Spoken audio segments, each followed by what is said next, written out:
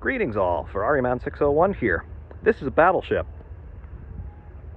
And this is one of the main guns from that battleship. This is a 16-inch 50 caliber naval rifle, technically speaking. And yeah, absolutely enormous proportions here. Interrupted screw breech. The machining here from the late 1930s and this particular gun has been sitting outside for decades. Still amazing. The chamber, not rifled, going down. You can see the rifling down there. Yeah. This would send a 2,700 pound shell about 25 miles out, 20 miles with supreme accuracy. Amazing. Yes, that is indeed a battleship, and yes, that is indeed a gun of absolutely immense proportions. We will get back to the gun. However, that gun comes from this battleship. This is USS New Jersey. New Jersey is the second of a class of four battleships, collectively known as the Iowa class, after the class leader, USS Iowa.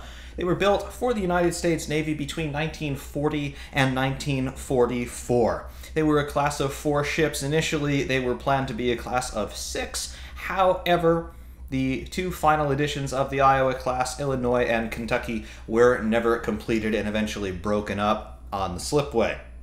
However, the four Iowa class battleships that were completed, they all still survive today. They are the only class of World War II era U.S. warships that survive complete and intact, and all four Iowa class vessels are now operating as museum ships, of course, as is quite obviously the splendid USS New Jersey. From 30,000 feet, what are the Iowa class ships? Well, they are battleships. They were built for the explicit purpose when they were conceived of uh, engaging in World War II. Course, the construction of the Iowa class was authorized before the outbreak of World War II. However, writing was very much on the wall at this point, and a global conflict was once again not too far over the horizon. New Jersey, as she sits here today, she has an overall length of 887 feet, 8 and 3 eighths inches. She has a waterline length of 859 feet 10 and 1 quarter inches and she has a beam of 108 feet 1 and 3 eighths inches. She has a displacement as built in 1942 when she was launched of about 45,000 tons and we'll get into why that 45,000 ton displacement figure was so and why it was so specific as she sits here today, despite having been in service for nearly 50 years, as well as, of course, having seen numerous refits and modifications to answer the call of the needs of the United States Navy over that very long period of service. New Jersey still displaces about 45,000 tons as she sits on the Delaware River today at Camden, New Jersey. New Jersey is also the only of the four Iowa class battleships to reside in her namesake state. USS Iowa herself is in the port of Los Angeles, California. Missouri is in Pearl Harbor, Hawaii. And Wisconsin, the final member of the four Iowa class battleships, is at Norfolk, Virginia.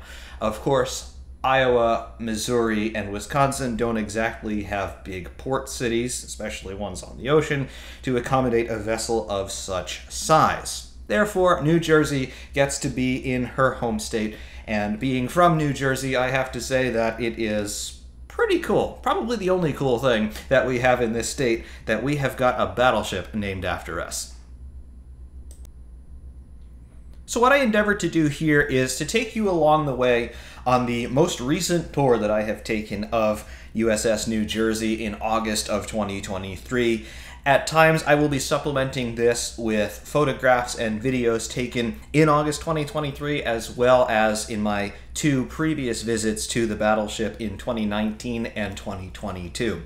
Every time that I have returned to the New Jersey, more sections of the ship are open, more equipment on board is operating, and more and more the ship feels like she's still alive, which is very interesting considering that the last time New Jersey was decommissioned was in 1990. So Sitting here in 2023, the last time that this ship was operational under her own power was 33 years ago.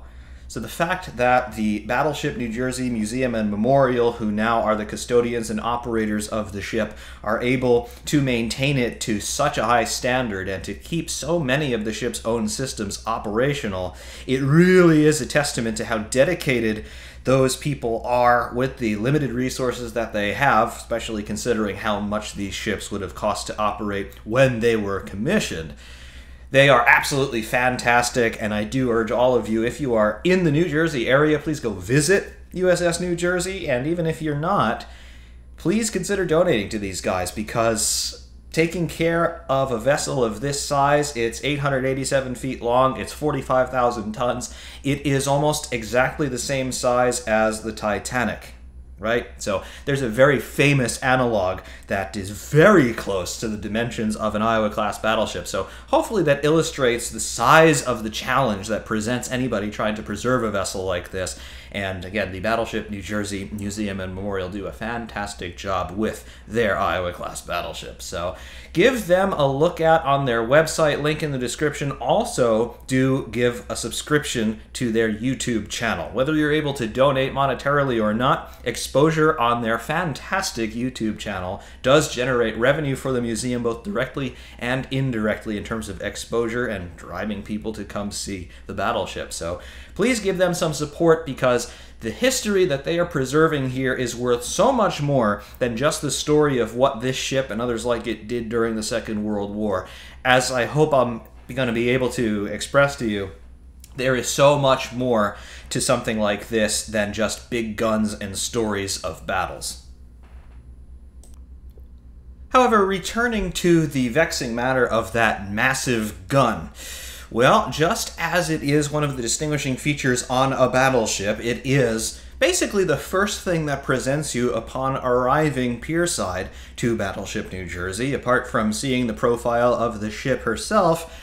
This massive gun is sitting there unceremoniously in the parking lot. This is one of the guns from New Jersey. It was taken off at some point, I believe it would have been taken off the ship at some point in the uh, 1960s, late 1960s, most likely when they were refitting the ship for uh, service in Vietnam. However, it is now sitting here dockside in Camden, and it's there for you to get up close and personal with because, of course, there are nine other barrels just like this on the ship itself. However, you can't exactly get close enough to touch them, and you certainly can't look down the muzzle because they're all sealed up for preservation purposes. So, this is actually a very interesting thing to take a look at, and it is, of course, sitting there in the parking lot before you even get anywhere near to getting on the ship.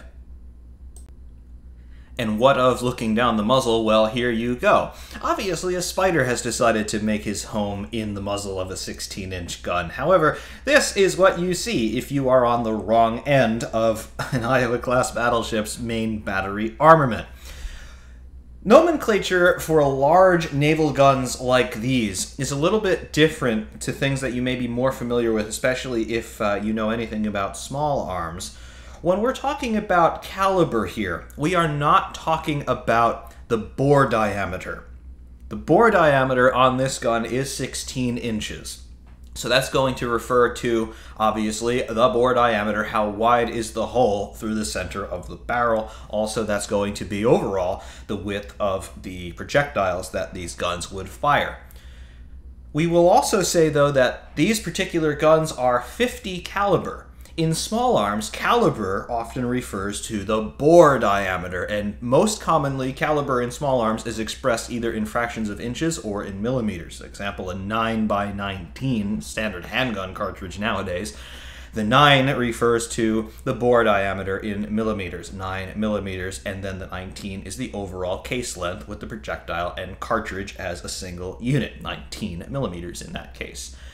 50 caliber though for naval artillery, this means that the overall length of this barrel is 50 times its bore diameter. So you can do the math there. We are 16 inches in diameter in terms of that bore, and 16 times 50 means that the overall length of the barrel is 800 inches, which if you divide that by 12, because 12 inches to 1 foot, you get an overall barrel length of 66.6 feet.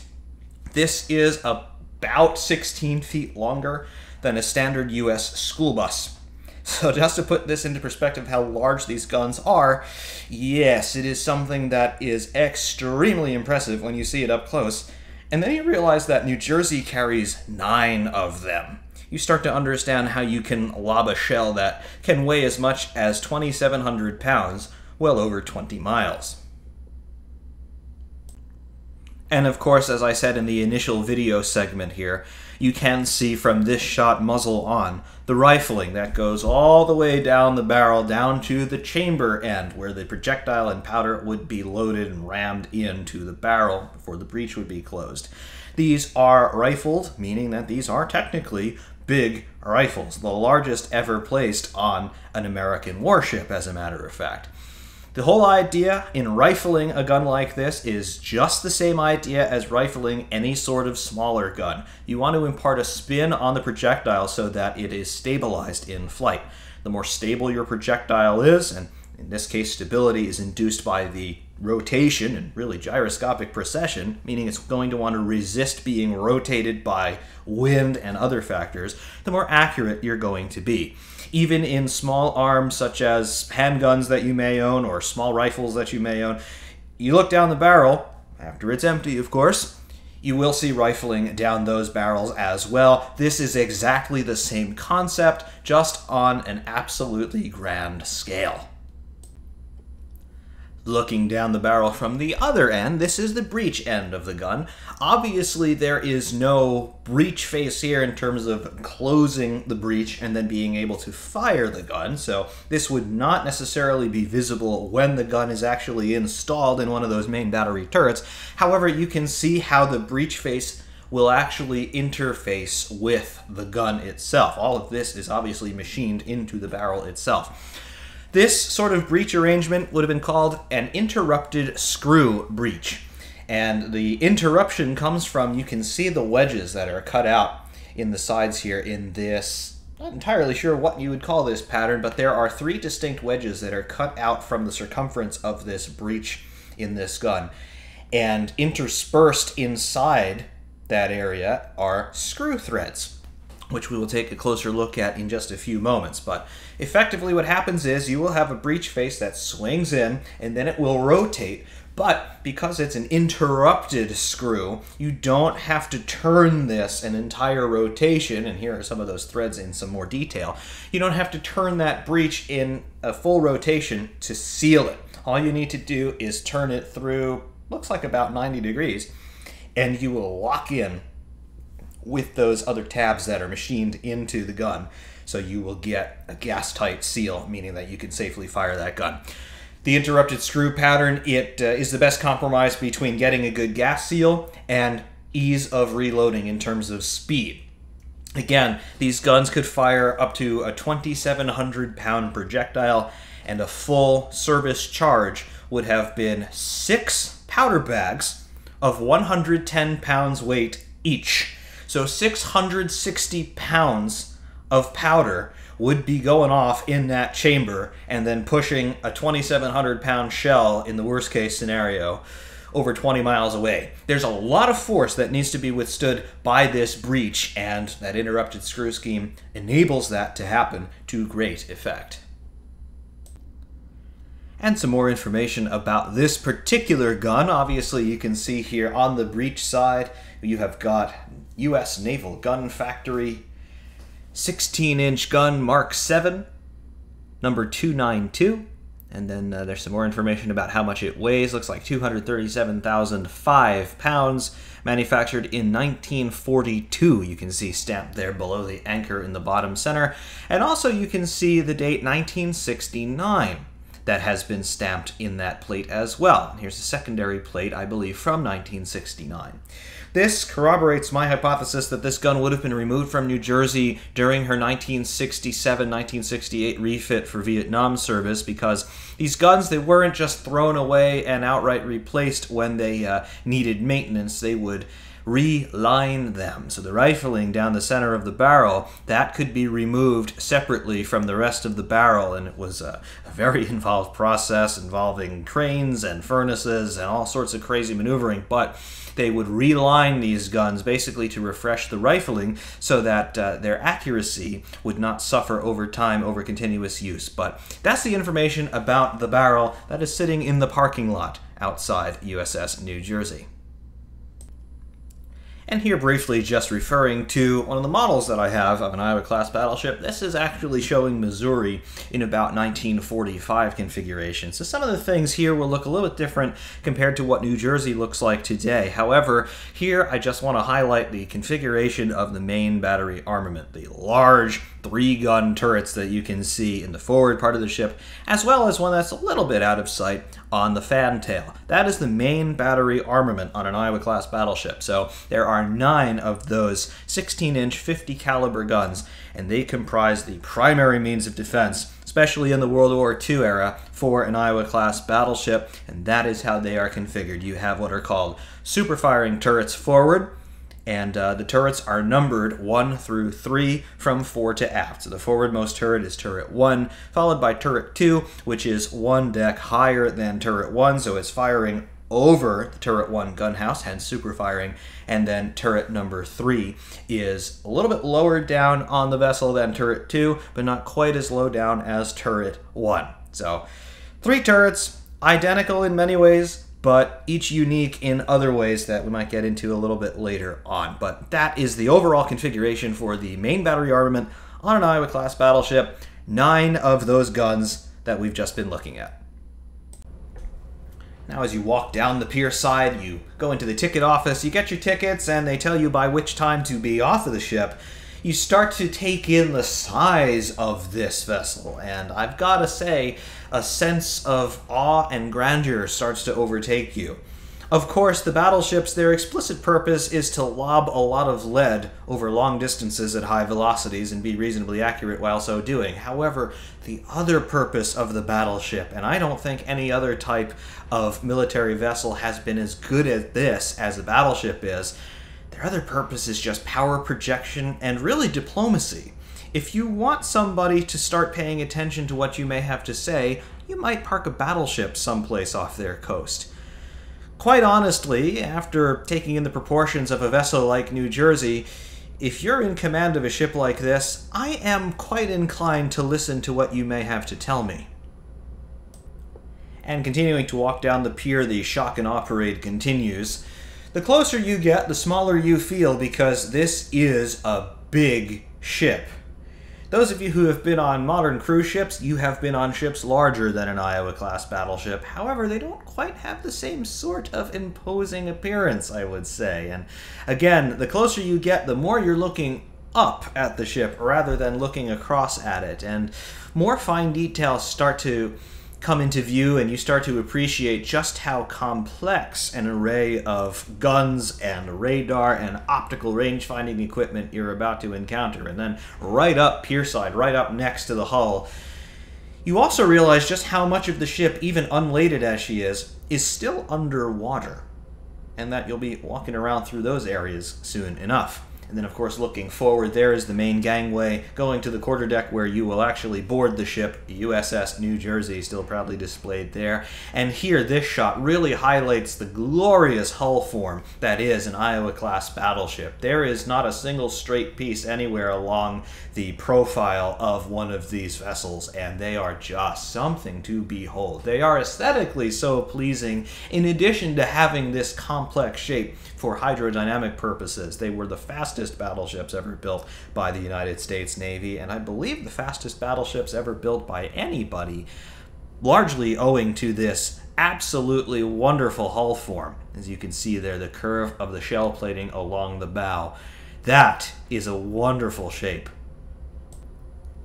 Now, ascending the gangway towers, as it were, there are two towers on the pier. The uh, northern one is where you will board the ship from, and then there is one to the south here by a few hundred feet. There you will exit from when you are done with your tour, that is on the fantail. However, you can now see you're now up on the level of the main deck, and you can get a sense of how high above the water you are just on the main deck of the ship. And zooming in on another angle of that absolutely glorious hull form on the bow of an Iowa, there is New Jersey's hull number 62, BB62, as she is officially known. That's where it comes from. New Jersey, uh, here she is painted in her last livery, as she would have appeared in her 1980s commission. And you know that this is a peacetime livery because the hull number is so large and so apparent. Um, they would have painted those numbers much smaller and in a slightly less vibrant white, just so that enemy aircraft would have a little bit of a harder time identifying which ship in particular they were firing on, or even just in a reconnaissance purpose. Which ship is sitting out there? We don't know entirely which one. All we know is that it's an Iowa. But here, in a peacetime livery, the hull numbers are made apparent so that uh, it would be easier to identify the ships for training purposes, basically. However, approaching the quarterdeck here, still on the gangway, there is the forward superstructure with the navigation bridge plainly evident, and of course the spotting tower there with the distinctive ears you can see just below the main battery fire director. That is a distinguishing feature that New Jersey gained in her 1968 refit. That was for electronic countermeasures equipment. However, there's turret 2, the big guns. This is a battleship, and certainly that is something that is made very obvious to you before you even set foot on the main deck of New Jersey. Turret 2, the three barrels raised to about 15 degrees, I want to say. Yes. That is how the ship will say hello if you are on the wrong side of America having stepped aboard New Jersey now, this is the view that you will get looking up at the three barrels of turret 1 on the main deck. There they are, the 1650s pointed skyward, and as we sweep down, you just get a sense of how big these guns are. If the one in the parking lot didn't make that readily apparent to you, the three here on the ship itself, on turret 1, definitely will. And as we pan down here, looking toward the face of turret 1 itself, you will see that there are these three bags around the breech ends of these guns. These are colloquially known as bloomers, and what these do, because these guns obviously have to elevate, there's going to be an open gap in the turret face. Obviously, that's an area where you're unarmored, so hopefully you don't get a very lucky hit right in the bloomers. But what this does is it keeps the weather out, because Otherwise, if these were just allowed to remain open, you would start to get water in the turret and all kinds of nastiness. And obviously, you don't want that because the turrets, they are far more than just the gun houses that you see here on the level of the main deck. The turrets go six decks all the way down through the hull. And um, there is a void space then underneath the turret, which is all a rotating structure, obviously, to support training and elevating these guns.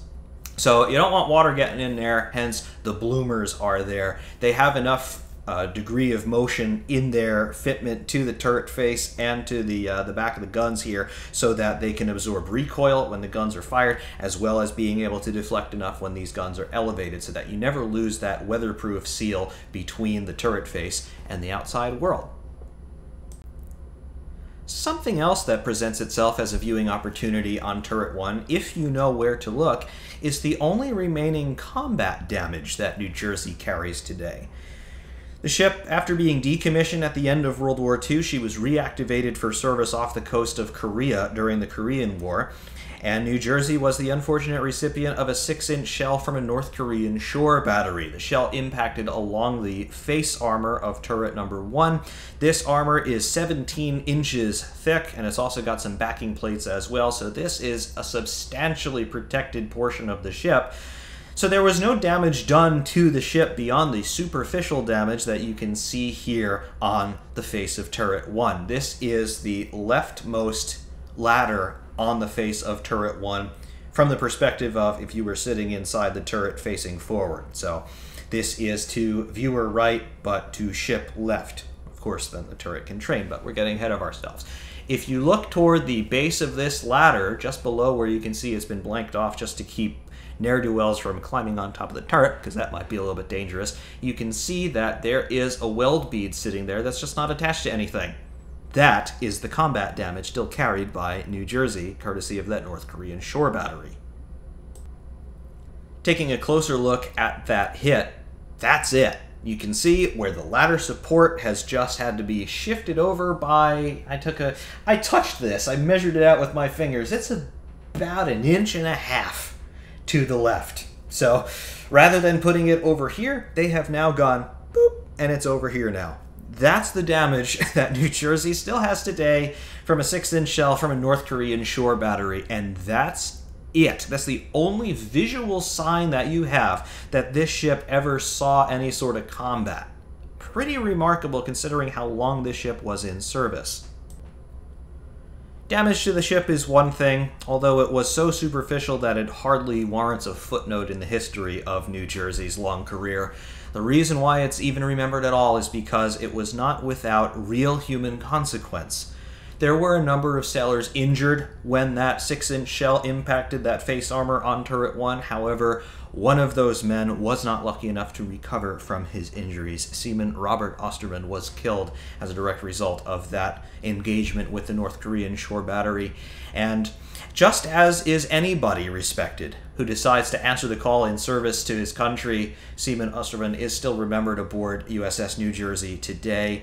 He does have the distinction of being New Jersey's only combat fatality, and they have decided to erect this little plinth there permanently on the main deck, right to the side of turret number one, in his honor. So we do remember the sacrifice of Seaman Oesterwind here aboard New Jersey to this day.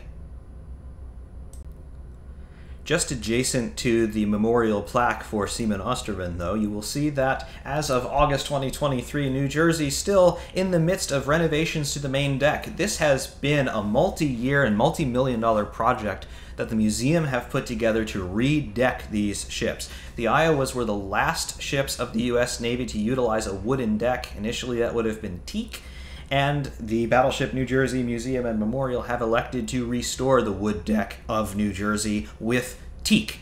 They have achieved their goal of acquiring all the supplies necessary. However, the construction, as you can see, continues. And the immediate consequence of that construction means that, unfortunately, when I visited in August of 2023, the extreme forward end of the forecastle deck was closed off because, as you can see, there is some decking in place. However, it is just the bare steel deck beyond that, and it is not quite even. This was not designed to be walked on directly, so it's unfinished. There's some jagged edges there along the welds and rivet lines, and it's a tripping hazard. So they decide that the liability is not quite worth it, so they closed off the forecastle deck to visitors. However, in these pictures, taken in 2022 when the forecastle deck was open, looking back toward the superstructure, you do get quite a sense of grandeur and awe once again, even from aboard the ship. You see the proportion of everything that is behind you, and yeah, you can definitely tell that this is something of absolutely immense proportion. Other features that are evident here on the forecastle deck are obviously the anchor chains and the windlasses and wildcats associated with raising and lowering the anchors. Each link of these chains weighs about 110 pounds or so. So these are immense structures in their own right, and you can see there, there is the hawse pipe going straight down to the water looking forward from the forecastle deck there. This is in 2019 before they had torn up a lot of the deck. You can see the proportion there of the bow. And then once again, that imposing superstructure with both forward battery turrets there looking straight out to sea, yet oddly beckoning you to come inside. So, upon descending your first of very many ladderways on the forecastle deck, going down to what is called second deck, you board the ship on the main deck and you go down one level, and now you are on what is called second deck.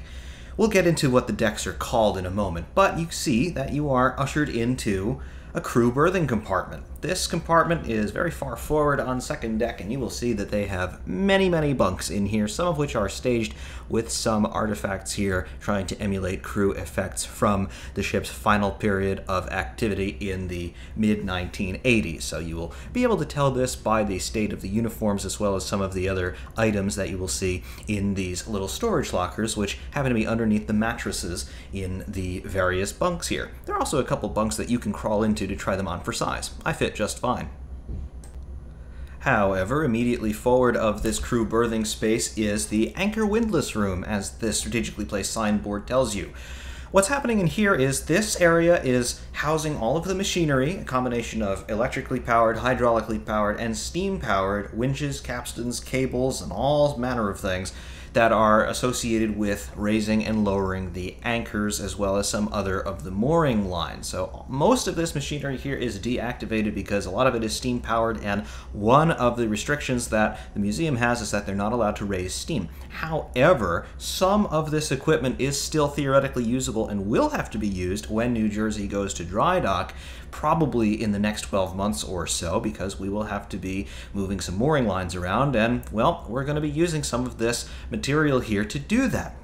Iowa docked in the Port of Los Angeles still uses this machinery for dropping and raising anchor when there are periods of high seas, high tides, and storms in the Los Angeles area. But you can see here, this is the first of a great many machinery spaces on board New Jersey, and the level of preservation in here is absolutely top notch. Uh, in particular, you can see, if you really want to zoom into these pictures, you can see all of the service tags on these gauges when they were last serviced and when they need to be recalibrated. Of course, they're all about 30 years out of date now. However, the attention to detail when the Navy put this ship away was still second to none.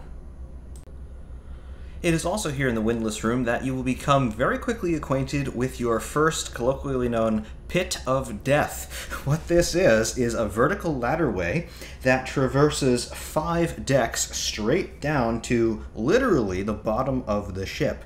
This goes down to an ordnance storeroom down on 7th deck, which is the lowest deck on the vessel, the lowest deck in the hull, and the, the floor, the deck on 7th deck, is what they call the tank top. It is the top of the ship's triple bottom, so that is the lowest habitable space on the ship.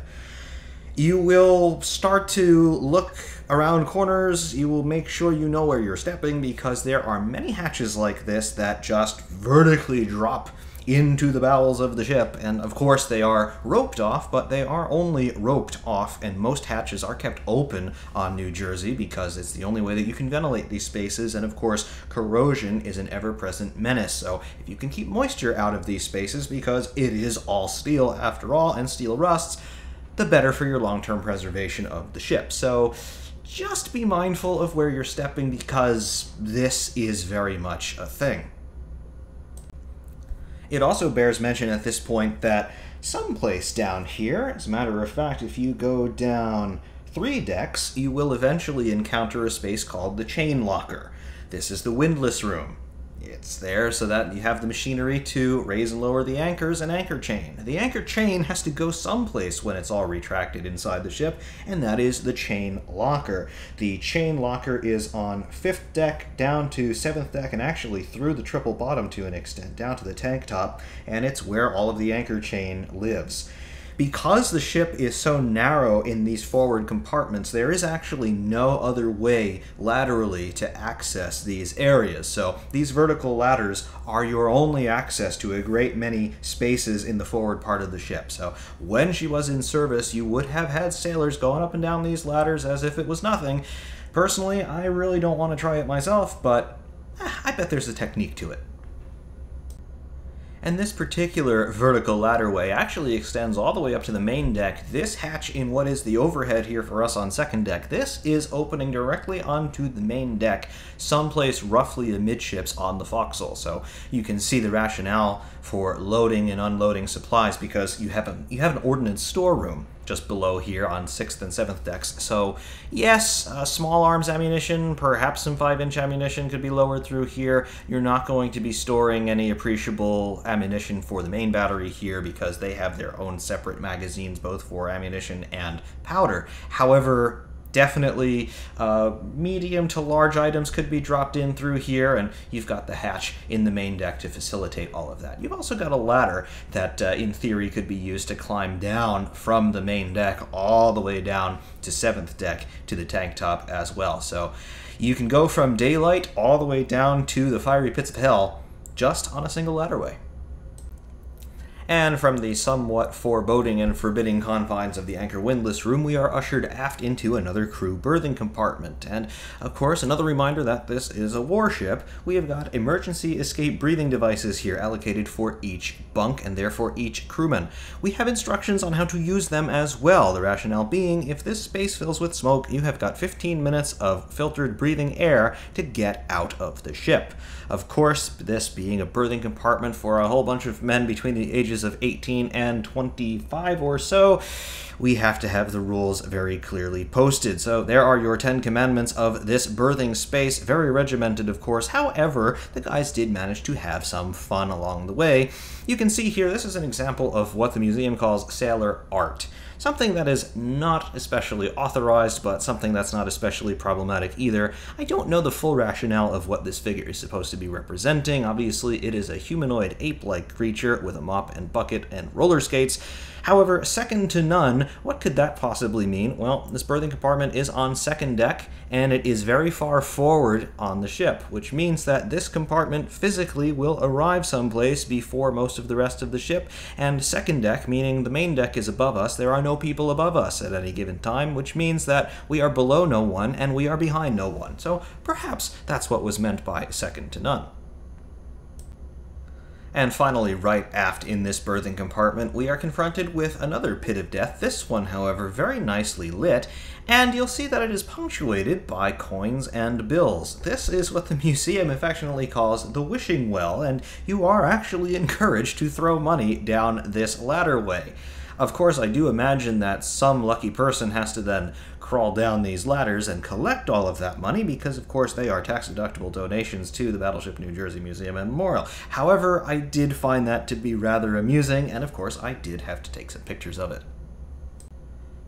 Finally, leaving the land of berthing compartments, we enter our first proper exhibit space here aboard New Jersey, and uh, it is punctuated by a display showing the history of the name New Jersey in the U.S. Navy. We start off by reading a plaque about naming conventions of U.S. warships, battleships being historically named after states, cruisers after major cities, aircraft carriers after either famous battles or more recently former presidents. However, this space talks about all of that, and it also talks about, at length actually, the first USS New Jersey, which was BB 16. It was a Virginia class battleship. Of course, it is so far removed from our own time. Built in 1902, launched in 1904, and commissioned in 1906, BB 16 basically has no resemblance whatsoever to BB 62. However, that was the first USS New Jersey. Of course, there is BB 62, on which we are at the present time. However, there is another New Jersey about to enter the United States Navy. USS New Jersey SSN 796 is a Virginia class, coincidentally enough, submarine currently under construction, scheduled to be commissioned into the Navy in 2024. So we have got three generations of U.S. Navy ships bearing the name New Jersey, and of course we do have some exhibit space allocated to that. We've also got these absolutely delightful models of all three ships displayed here, which I did find to be very cool. Leaving the repurposed berthing compartment, which is now an exhibit space, we come across the first of many damage control lockers. New Jersey was well known in the Navy for being an expert damage control ship, and these damage control lockers are absolutely everywhere, including in spaces that are not documented on blueprints of the ship. Here you can see oxygen bottles for the onboard firefighting crews in terms of, well, we have a problem, we have to solve it. So they'll be using things like this. Your 10 Commandments of Damage Control also posted in all of your damage control lockers, as is a little segment of a compartment checkoff list that you can just see there. However, you will also notice in every compartment on the ship this yellow panel. This is called a bullseye because they used to look different from this. They used to be a circular red, white, and blue stamp on a compartment bulkhead and it would tell you numerically where you are on the ship. They are very useful in navigating around New Jersey, and therefore the museum takes the liberty of explaining to you how this system works. As you can see, they are pretty jam packed full of information just on this little board. And there are two different ciphers, if you will, in terms of encoding the information on the bullseye. You have got your primary information, your first three lines, telling you what deck you're on, the hull frames that the compartment spans, and how the space is designated to be used. Frames are not necessarily structural frames on the ship. It is a unit of measure rather than corresponding specifically to where the structural stringers are for the ship because the spacing on the frames changes depending on where you are on board the ship. However, they standardize the unit of measure so that you get an idea of where you are fore and aft and how much of the ship remains. The lower the number, the farther forward on the ship you are second division. In this example here that tells you which part of the ship's company is assigned to a given space in terms of maintaining and using that space. You also have a designator there. For example it's 2-36-0 that tells you where you are. Are you on the center line of the ship? Are you port? Are you starboard? And then of course the space usage letter tells you what a space is supposed to be used for.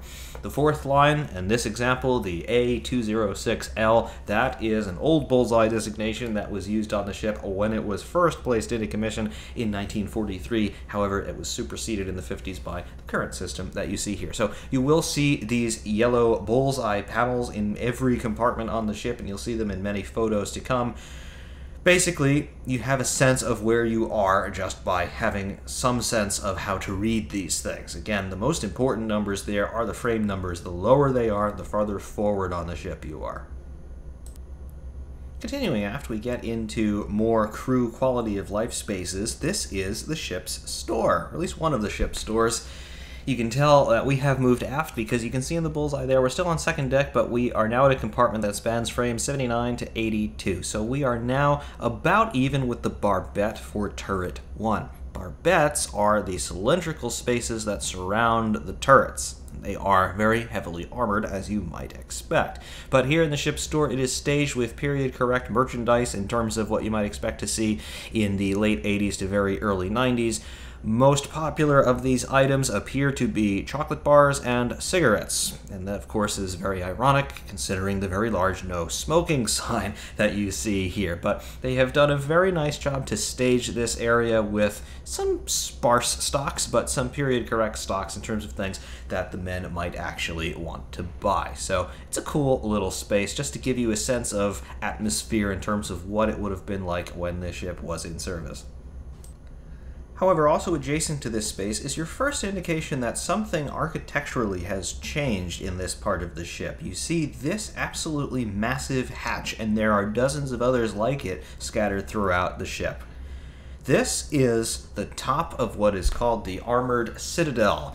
This is the structural core of the ship. This is the most heavily armored single area aboard an Iowa class battleship. This extends from third deck at about the level of the turret 1 barbette, and it extends aft all the way down to the barbette of turret 3, actually just beyond the barbette of turret 3. This area contains all of the absolutely critical parts of the ship, the critical spaces that contain your command and control infrastructure, your magazine spaces for your primary and secondary batteries, all of your engineering spaces. You have got an auxiliary steering position in the forward part of the armored citadel called Central Station, which we'll see later. You have got your steering gear in the Citadel. You have got another auxiliary steering position right aft around the steering gear, all contained within the armored Citadel. So this is a, a six inch thick armored deck at the top of third deck, and that extends all the way down to seventh deck in your engineering spaces, in your fire and turbine rooms. So, in the worst case scenario, if you have your bow and stern shot away, you have your superstructure shot away. In theory, all of your turrets, the barbettes around the turrets, and the armored citadel would have enough reserve of buoyancy and enough structural integrity to keep the ship afloat and, in theory, still fighting, at least with your main battery turrets and whatever secondary battery mounts may remain. So that is your first indicator of this tremendous armor scheme that the designers came up with for these ships. It is an example of what is called the all or nothing armor scheme. Thus far, all of the areas of the ship that we have seen are unarmored. They have splinter protection. The shell plating would afford some degree of protection from small arms fire, perhaps up to 50 caliber small arms fire, as well as splinters from nearby explosions, mines, shell hits in terms of glancing blows, but anything appreciable, any sort of direct hit from battleship grade guns, it's going to go straight through the unarmored parts of the ship. So all of your berthing compartments that we've seen, sorry guys, but once you're in the Citadel, or you're inside the turret barbettes, or you're inside the armored conning tower, which you'll also see later on, now you're talking about a completely different ballgame in terms of what we can do and what we can withstand. So all of your hatches from second deck to third deck, they look like this, because again, you're going through six inches of armored steel to get lower down into the ship from this point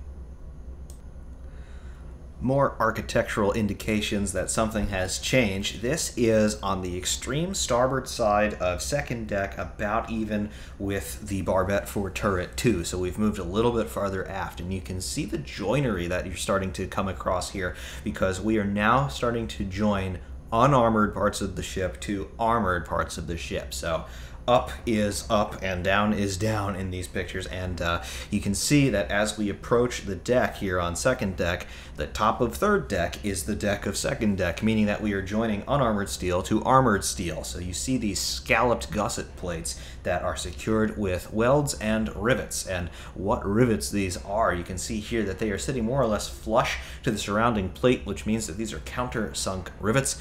All of these rivets would have been placed by hand, of course with machinery assisting, but handheld machinery placing these rivets in the Philadelphia Naval Shipyard when New Jersey was being built between 1940 and 1942. A great deal of this work was actually done by women because, of course, the United States had entered World War II by the end of the construction period for New Jersey, so the museum likes to quote a figure of about 30% of structural work on New Jersey was actually completed by women. I don't know how true that actually is or how they verify that information, but what really gets me about this is you see the precision, the symmetry, the perfection in many ways that you can see in the structural parts of this ship. And this is just one compartment on second deck. Everywhere where you can see the structural members of this ship, you see this absolutely everywhere. And then you remember that all of these rivets and all of these welds were done by hand by somebody who probably was not trained as a machinist or as a construction worker. But they learned really fast and then they did their job and they did it well and they did it to such a high standard and they must have felt tremendous pride doing this because 81 years later, it still looks this good.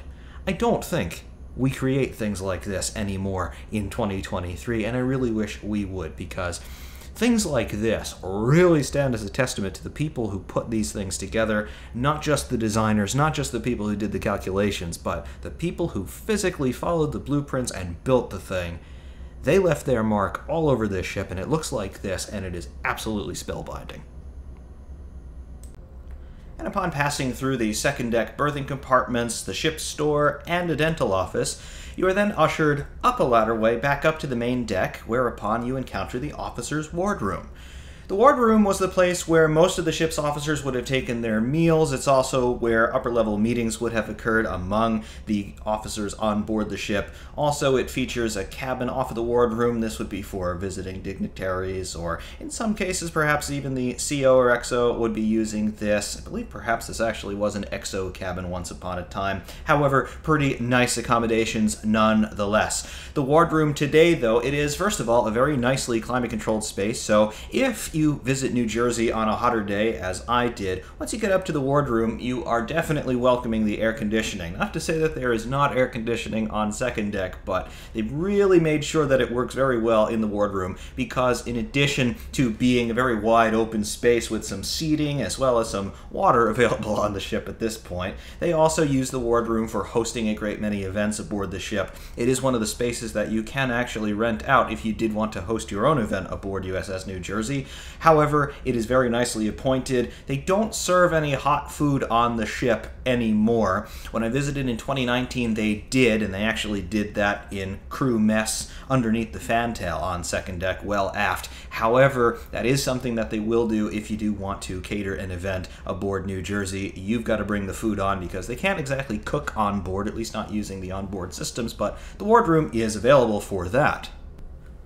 For me, though, the main attractions of the wardroom are these absolutely wonderful scale models of New Jersey and a couple of other ships that are available for your viewing pleasure. This model here depicting New Jersey as she would have appeared right after her 1983 dry dock refit period as she was re-entering service for the final time for her fourth commission, 1980s to very early 1990s. She looks resplendent there. However, this one is probably the most interesting, and this is one of the models that's been featured on Battleship New Jersey's YouTube channel. This is showing New Jersey circa 1983, however, being extensively refit and largely rebuilt to be what is called technically a hybrid battleship. I tend to call these concepts battle carriers. This is something that you may be somewhat more familiar with if you play the video game World of Warships or World of Warships Blitz, if you've ever played with the Tier 9 battleship Kearsarge. That is based uh, very loosely on what appears to be most similar to North Carolina hull, but it's got a full flight deck with a main battery of 16 inch guns in four triple turrets, and it's a weird thing. However, the concept actually existed, and the concept was revised and revived in the 1980s when it came to recommissioning the Iowa class battleships. There was some thinking that we might want to convert the battleships into battle carriers. In other words, let's put a ski jump over the fantail and have it terminate just aft of midships. Let's remove turret 3 and replace it with vertical launch tubes so we can turn the battleships into missile boats as well as being able to operate to some limited extent STOL aircraft, short takeoff and landing. In these days, that would have been either helicopters or the Harrier, and that effectively would have been the only fighter bomber option available at that time. I don't know if there was any plan to fit catapults to any of the Iowas when they were mulling over this possible conversion, but obviously this did not occur. Very clearly, we had aircraft carriers, including super carriers, even nuclear powered super carriers at the time via USS Enterprise entering service in the mid 1960s. However, the idea was still floated. Ultimately, none of the Iowas ever received anywhere near as radical of a conversion or refit during their 1980s reactivation periods, and they all more or less maintained their original fit out and armament as they were designed with all the way back in the early 1940s. However, USS New Jersey, shown as a battle carrier, is available here in about 1 200 scale, I would like to say, in the officer's wardroom on the main deck of USS New Jersey if you do wish to view this. Also, again, check out USS New Jersey's YouTube channel for some more information about the Battle Carrier Iowa concept. The model parade continues in the officer's wardroom with this wonderful display of one of the main battery turrets. You can see here that the turret is far more than what is visible from the main deck, the gun house. You can see the three barrels there, one elevated. However, this is a very good representation of the structure of the barbette as well as the structure of the turret itself. You can see the inner part of the turret, the proper part of the turret, that all rotates. So you can see the two shell flats there that are on sequential levels, one on top of the other. That is where the men would be parbuckling those 2,700 pound armor piercing shells in the worst case toward the shell hoists. And then over top here, this is the stereotypical turret that most people think of. We can tell that this is in the World War II era because we've got two World War II Korean War era life rafts on the side of the turret there. And we know that this is not turret 1 today because we've got rangefinders on either side. We can see the right side of the turret with the rangefinder. However, that is a fantastic representation of what one of these 1650 turrets is. You can also see here that we have got the ability for the guns to elevate independently, which means that this is not a triple turret, technically speaking. This is a three gun turret. A triple turret would indicate that all of the guns would elevate in unison. However, each gun can be elevated independently. Obviously, they all train, they traverse at the same rate in the same direction because they're all attached to the same rotating structure, but they can elevate independently. They do have to return to a 5 degree loading angle, so that's why in a lot of the historical footage you'll see when the guns fire, they immediately start dropping down. That's the way that they have to be loaded for all the spanner trays and things to come in so that they can ram all the stuff back into the breech for round two. However, fantastic fantastic representation of an Iowa class turret here in the officer's wardroom. What is undoubtedly the centerpiece of the officer's wardroom, though, is this absolutely massive 196th scale replica of New Jersey, as she would have appeared in about 1982 1983 by Gil Joffredo of Bayonne, New Jersey. I don't know anything about Mr. Joffredo other than that he evidently is an absolute master modeler and the connection between New Jersey and Bayonne, as in the ship New Jersey and Bayonne, New Jersey, a little bit more than you might expect. New Jersey, of course, was built in Philadelphia, Pennsylvania on the Delaware River, right across, ironically enough, from Camden. However, Iowa was built at the Brooklyn Navy Yard in Brooklyn, New York. However, Iowa would have been too large with her superstructure entirely fitted out to pass under the Brooklyn Bridge, meaning that, well, Iowa needed to be floated out of that channel without her superstructure and a lot of other things fitted. So Iowa would have been fitted out in Bayonne, New Jersey. New Jersey herself also would have spent some time at Bayonne, at the Bayonne Navy Yard. They weren't building ships like this at the Bayonne Yard, but they were fitting them out. They were doing what they called inclination tests, at least on Iowa herself. There are pictures of this. I'm not sure if New Jersey would have undergone similar testing at Bayonne, but New Jersey would have spent significant time at Bayonne, particularly during her shakedown deployment into the Atlantic, which was effectively a glorified Tirpitz raid and then obviously New Jersey would have been transferred over with Iowa to the Pacific Theater. But Bayonne does actually have a connection with USS New Jersey and the Iowa class in general, obviously, as Missouri also would have been built at the Brooklyn Naval Yard and probably spent some time at Bayonne during her fit out and initial sea trials. Surveying this absolutely resplendent model, though, and I invite you to pause the video at any point if you'd like a closer look at any of these pictures. The detail here is tremendous. The workmanship, the craftsmanship is tremendous, and it's almost a shame to have to keep this behind glass because you get the distortion and the reflection from the display case. But from what we can see here, we are looking at something that is absolutely masterful. And it is more or less pretty accurate in terms of portraying the ship as she appears, even today as a museum sitting there at Camden. Obviously, some configurations in terms of the paint on the turrets, the number 62 is missing from turret 2, for example. The orientations of some of the secondary battery guns a little bit different. A little bit different rigging there in terms of the main uh, mast, the tripod mast there.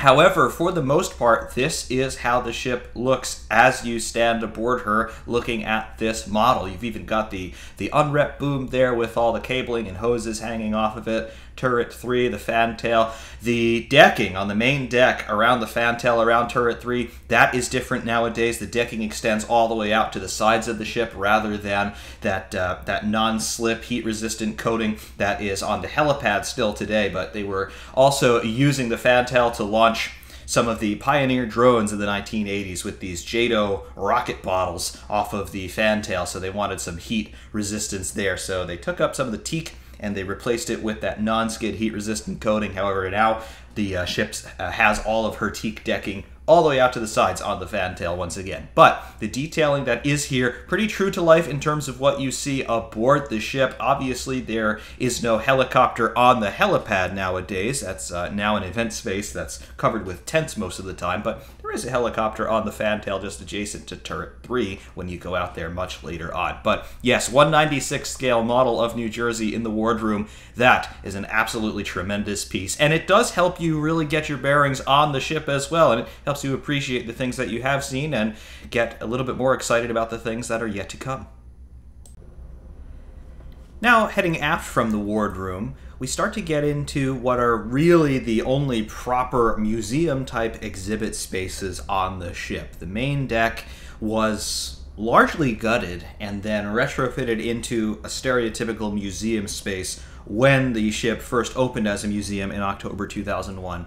This is something that the current curatorial staff don't appear to endorse all that much. They tend to be, as far as I can see, they tend to be far more conservative in terms of their curatorial philosophy. They want to preserve the ship as she is. They want to present her as she is. The work that they do aboard New Jersey, it is aimed at rehabilitating spaces so that they could be entered by the general public and added to the tour route, as well as uh, being made available for either curators' tours or other tour packages that you might buy as a museum, as a guest of the museum. But that was not necessarily the curatorial philosophy of the ship's original caretakers. It's always been the same organization that has operated the battleship since she fell into the hands of the museum, but different curatorial staff have come and go over the years, and this is an artifact of that initial curatorial philosophy when New Jersey opened. New Jersey was only the second of the Iowas to open as a public museum. Missouri was the first one.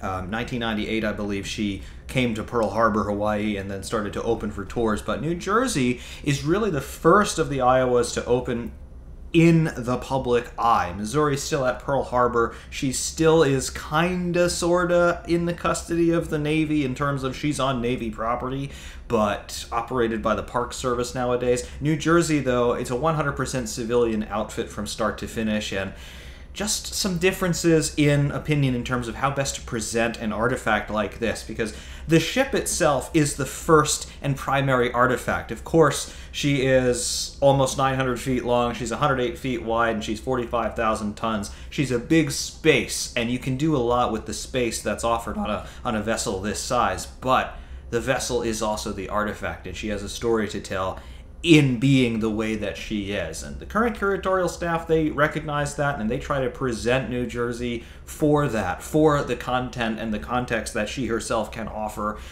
But you, you'll see what I mean here as we go into this first curatorial space in terms of museum space. So, just after the wardroom. Let's see, bullseye, cool. I'm heading aft through here.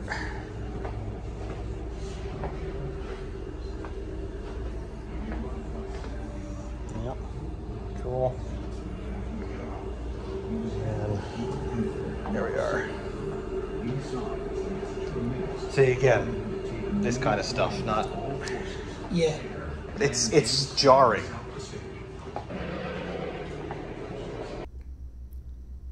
And as we continue to walk through this exhibit space here, I've got to say, I don't like the idea of having stripped out original material from the ship to replace it with exhibits. I know that there's a purpose, and particularly there is a purpose to this one because World War II is the reason that this ship exists at all. Obviously, the authorization for the Iowas was before the United States entered into World War II, but all of the ships were completed after the entrance of the United States into the war because after the attack of Pearl Harbor. But again, I am here because I appreciate the story of the ship via what the ship is able to tell me just by being the way that she is if I want to research Admiral Halsey, for example, whose picture is there on the cover of Time magazine, if I want to research the anti Japanese propaganda and the maltreatment of Japanese Americans during the war, I can do that myself. I want to see the ship. Yes, I recognize the purpose of exhibit spaces like this, but uh, not really my style, I must say. However, the space that you're looking at here was probably the most interesting part of the World War II type exhibit.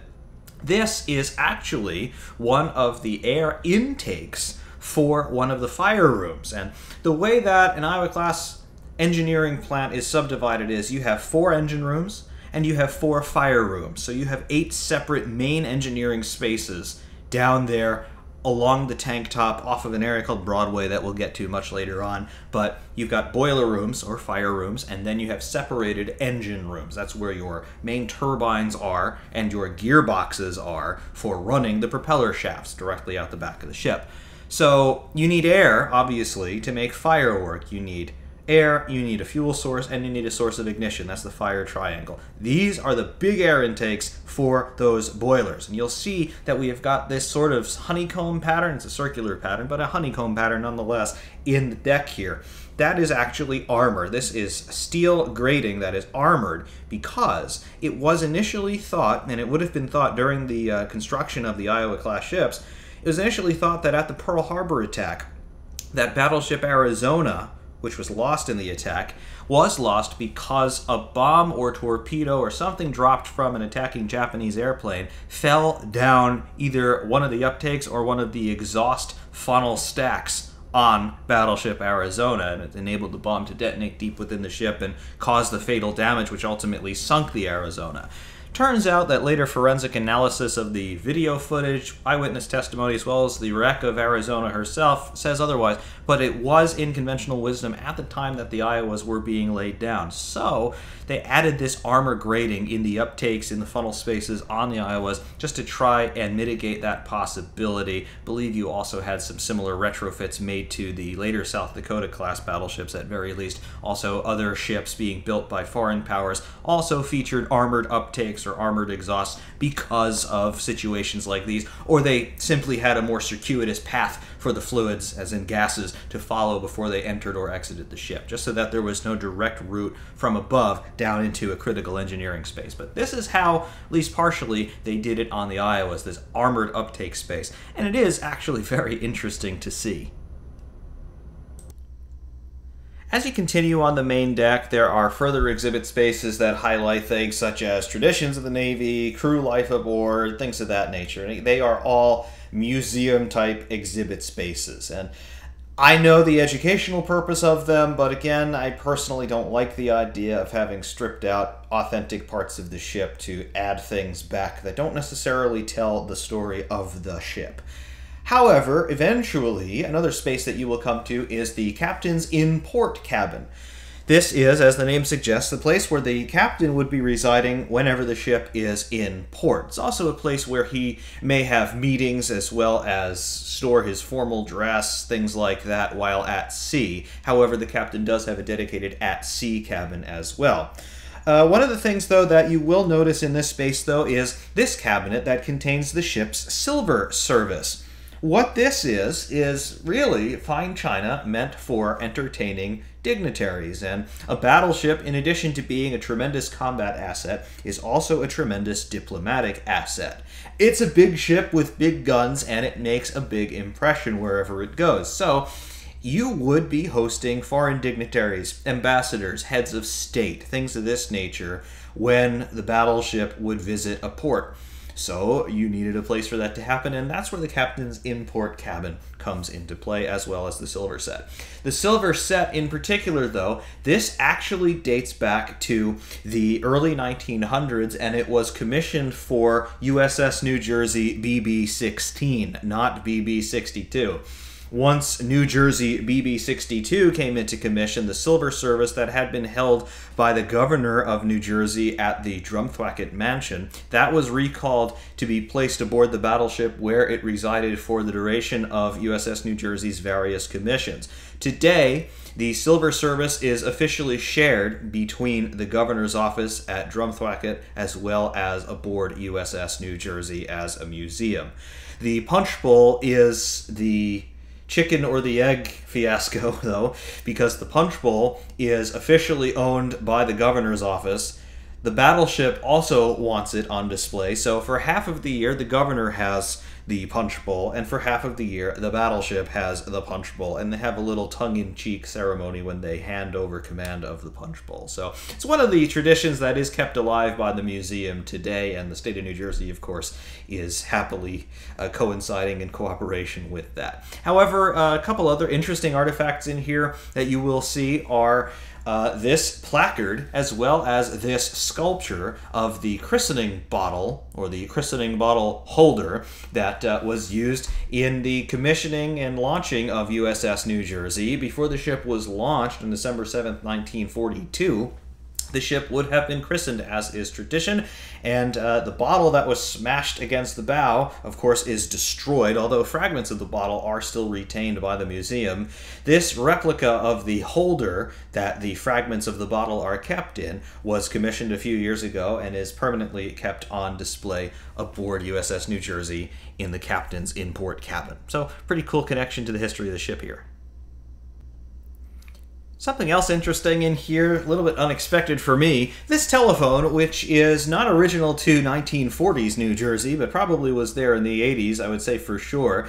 This is not an artifact per se. This is still an active ship's phone, as the signage says there. But it impressed me uh, because they even bother to tell you what is an artifact and what is still active equipment on board down to signage that says non original signage. So I did get a kick out of that, but the captain's in-port cabin is another event space that you can rent aboard New Jersey if you want to host an event there. So, yes, they do have the need to call in and out of that space, I suppose, and they use that phone, amongst other things, to do that. Something else, though, as you go more into the captain's actual living quarters in terms of where his bedrooms and uh, such are, is this, obviously handmade, I believe, wooden model of New Jersey, looks to be roughly 1 700 scale or so, but I'm quite sure that this wouldn't have been a precisely measured piece. But this model may well be the first ever model, at least semi professionally done, of USS New Jersey.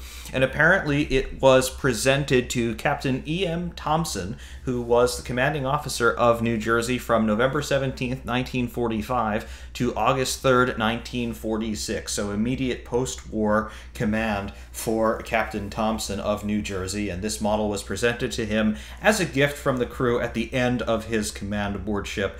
I uh, would reckon. But very interesting to see this on display. I don't know who made it. I don't know how old it is precisely, other than we say that it can't possibly date from later than August 3rd, 1946.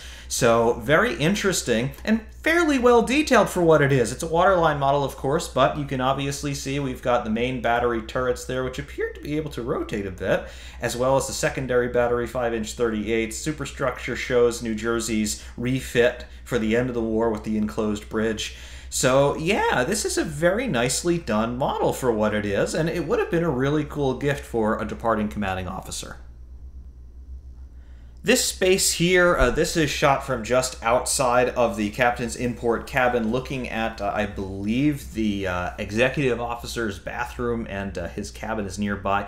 What I'm doing here, though, looking in the shower, is uh, I misremembered something. I am looking for the door in the captain's shower. It's not here on the main deck. Where that actually is, is on the 04 level just aft of the navigation bridge, which makes more sense because the captain's at sea cabin, obviously he would be there at sea, and if he needed quick access to the bridge, well, he may have to run out of the shower to do that. This little space here, I opened the door because uh, it explicitly said do not use for storage, and they use it for storage today. There's the old uh, 1980s vintage vacuum cleaner in there. Uh, another little cabinet here. This really is just a cabinet with some shelves, but uh, again, if there are any unlocked doors aboard a battleship, you must open them. It is a rule. Absolutely. Uh, regardless, here, this I believe this is the uh, XO's cabin, the executive officer's cabin. He's got uh, a space here. I suppose this could also be used for any visiting officers who may come aboard the ship. Uh, there was something here I can't quite recall about uh, this was for the commander of a destroyer cruiser group. Not sure, but uh, nice digs nonetheless. However, this we get into the captain's uh, in port cabin, the seating area here, and then we've got this model, which is not of an Iowa. I do go on to explain in some detail what this actually is. And this is not New Jersey or any of the Iowas. This is Montana or Montana class. This was what they had uh, initially thought up of uh, replacing the Iowa class um, because the Washington and London treaties before World War II restricted the displacement on capital ships. Battleships could be 35,000 tons. So the earlier class, the South Dakota class and the North Carolina class, were built to 35,000 tons. When Japan decided that they were going to not ratify the second version of the treaty and uh, just blow it out of the water, literally, they built, they refit the Kongo class cruiser and uh, we speculated that they were over 35,000 tons. So we invoked the escalator clause to the Washington Treaty to go to 45,000 tons. So that's how you get the Iowas. Um, the Montanas were supposed to succeed the Iowas, and they didn't have a displacement limit. We thought at the time that Japan was building a class of battleships, which turned out to be the Yamato class, which they did build two of, three um, if you count the one that became a carrier um, they were 70,000 tons. We thought that they were only going to be about 55, 60,000. So the Montanas were going to be built to about 65,000 tons or so to split the difference. And this is what they were going to be. They were going to be a slightly longer Iowa with four main battery turrets. So we've only got turret three out the back here. This has got two at the fat tail. Otherwise, very similar, a little bit slower because I think they were going to have the same power plants as the Iowas. But that was the plan. Thankfully, we didn't need it.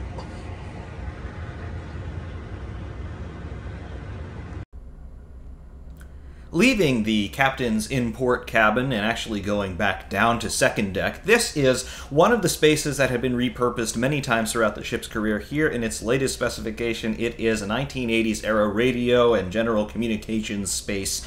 Uh, lots of teletype in here, some printers in here, as well as some radio equipment, both for Morse transmissions as well as for voice transmissions. Some of the equipment in here is made to look like it is still operating, so every once in a while something will pop off and paper will fly fly through a machine, or a typewriter will start clicking all by itself. So it appears at times that the equipment in this space is being operated by a platoon of ghosts. However, moving farther aft, still on second deck, you pass by the carpenter shop. And this is one of the spaces on the ship that actually is still active and still being used for its original purpose. There are a number of woodworking activities that do still need to happen aboard the ship, none the least of which is the restoration of the main deck, the teak wood on the main deck, and some of the work for that is being done in this space. So not only do you still see the equipment and all the tools and stuff in here, but it still smells like woodworking has occurred recently because, well, woodworking has occurred recently in this space. So it's an example of some of the original equipment on the ship still being used in the way that it was intended, which I think is really cool.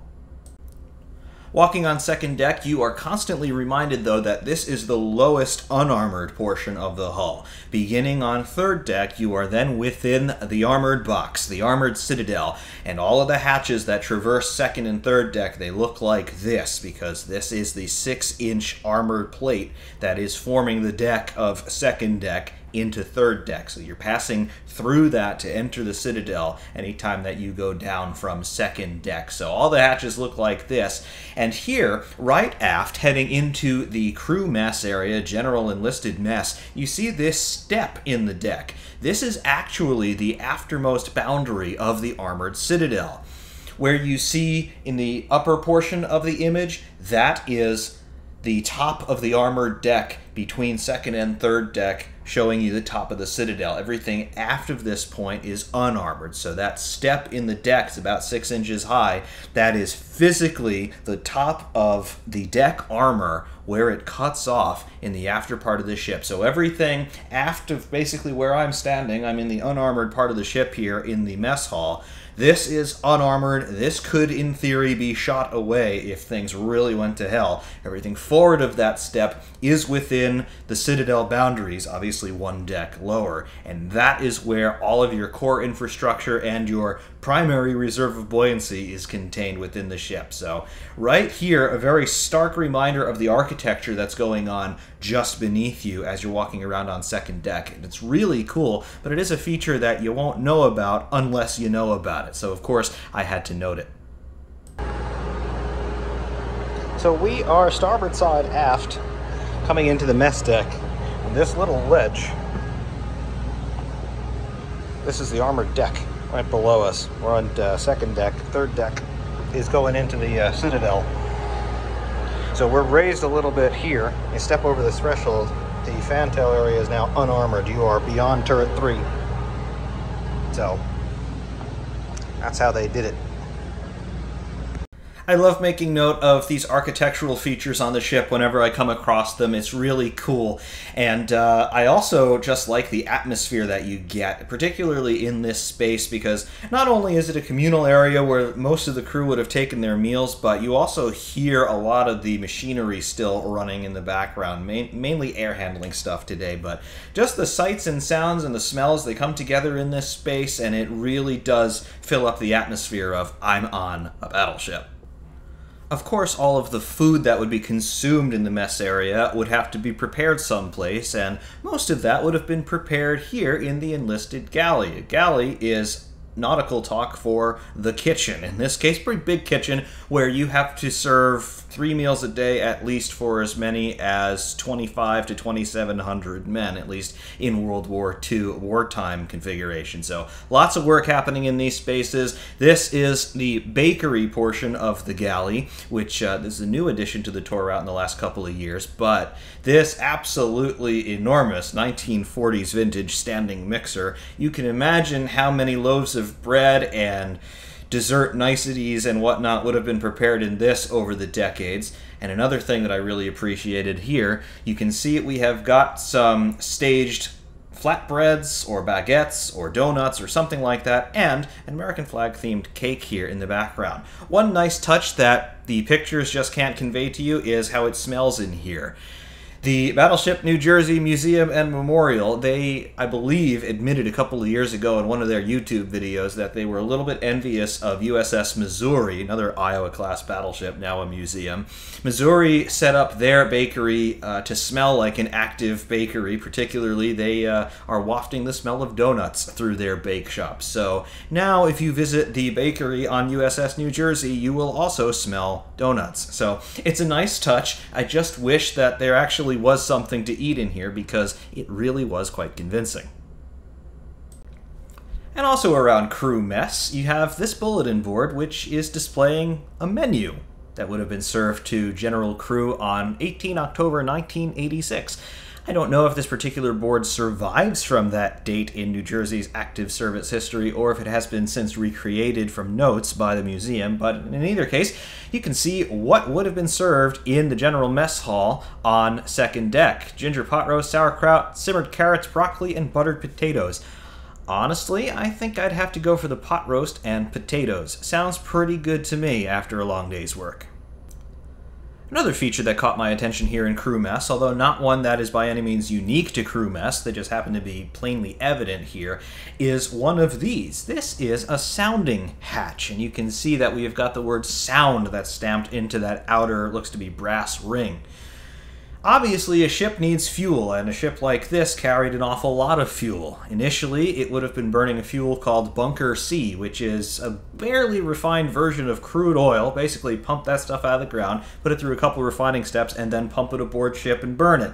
In the 1980s, in New Jersey's last commission, they would have been burning what's basically a marine grade diesel. However, whether it's bunker C or diesel, it is liquid fuel and it needs to be stored in tanks. There are many tanks around the hull of an Iowa class battleship. Some of them form parts of the torpedo defense, and some of them are strictly for fuel stowage and therefore ballasting. But wherever they are, you need to be able to determine how much liquid is in those tanks. There is no one master fuel gauge for a battleship, so what you do to figure out how much fuel is in the tanks and where that fuel is, in other words, which tanks are full, Well, you need to take detailed records of when you take fuel on, and then you also need to make periodic checks of your tanks as you burn fuel off, so you can determine how much gas you got left, first of all, so you can determine more or less what your range is. But it's also important to know where the fuel is for trimming the ship. In other words, keeping the thing ballasted correctly so that you maintain an even keel. You want fuel to burn down symmetrically, fore to aft, port and starboard, and you can pump fuel around depending on what your needs are for trimming the ship, how much other stuff are you carrying, where is that, etc. But you would take measurements with quite literally a long dipstick. You would stick it into a port like this, and you'd pull it out and see where the fuel was, or in some cases where the water was on that dipstick, and that will give you a roundabout reading of how much liquid you've got in a given tank. And obviously, there are spaces like these all over the ship, but here in crew mess, you do see several of these in the floor, and I thought that was very interesting to take a look at.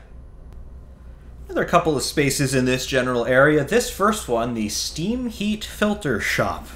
Everything on this ship is steam powered in one way or another. Steam gives you the capability, obviously, to drive the ship through the water, but beyond that, steam is powering your electricity for your lighting as well as for your navigation and radar equipment. It's providing electricity to run the electric motors that then generate the hydraulic pressure to operate your turrets, your ammunition hoists, your powder hoists, everything you can imagine.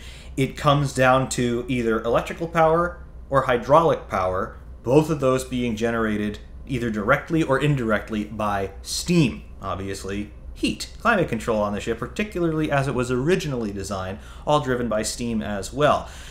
The ship did not originally have air conditioning. That was something that was only added in the 1980s as the military transferred from being conscription based to volunteer based. You needed to make the ships a little bit more habitable for the people who were literally volunteering a decent chunk of their lives to serve on board. However, Filters everywhere, all over this thing. Why? Number one, air quality, but number two, some of these filters would also be uh, filtering intake air in the uptakes for the boilers. So you want to, just like uh, you have in your car, you want to make sure that you're getting as clean and consistent airflow as possible into your engine. Well, same thing for these boilers. So this is the shop dedicated just to upkeeping, maintaining, cleaning, repairing, and replacing all of the assorted filters that somehow interface with air handling equipment as well as the steam handling equipment on board. And because everything on this ship is in one way or another powered by steam, these guys would always have something to do. So it would make sense that they'd have a dedicated space exclusively for these purposes. And another space here on second deck, as you can see from the bullseye in the background there, this is the electric motor repair shop. There are something along the lines of 300 electric motors aboard the ship, and they're all associated with operating menagerie of equipment. However, they will all need to be repaired, if not outright reconstructed at times, and this is where that can happen. In addition to the battleship itself being a very large and very complicated piece of equipment, it also has a huge reserve of buoyancy. And because it's got that huge reserve of buoyancy, you can have these dedicated repair facilities on board. This ship also has a metal foundry on board as well, which means that you can cast steel parts if you have to. So, really, in addition to being a great combat asset, being able to land those big 16 inch shells on demand wherever they're required, the battleships also were designed in a way to be mobile bases and mobile supply depots. The ship carries an awful lot of fuel for its own use as well as for the use of other ships in its group. They can do underway replenishments to transfer fuel between ships if you really have to. Because you've got these big repair facilities on board, again, the motor winding shop, the, the steam heat filter shop, the metal foundry. There's a carpenter shop as well on board.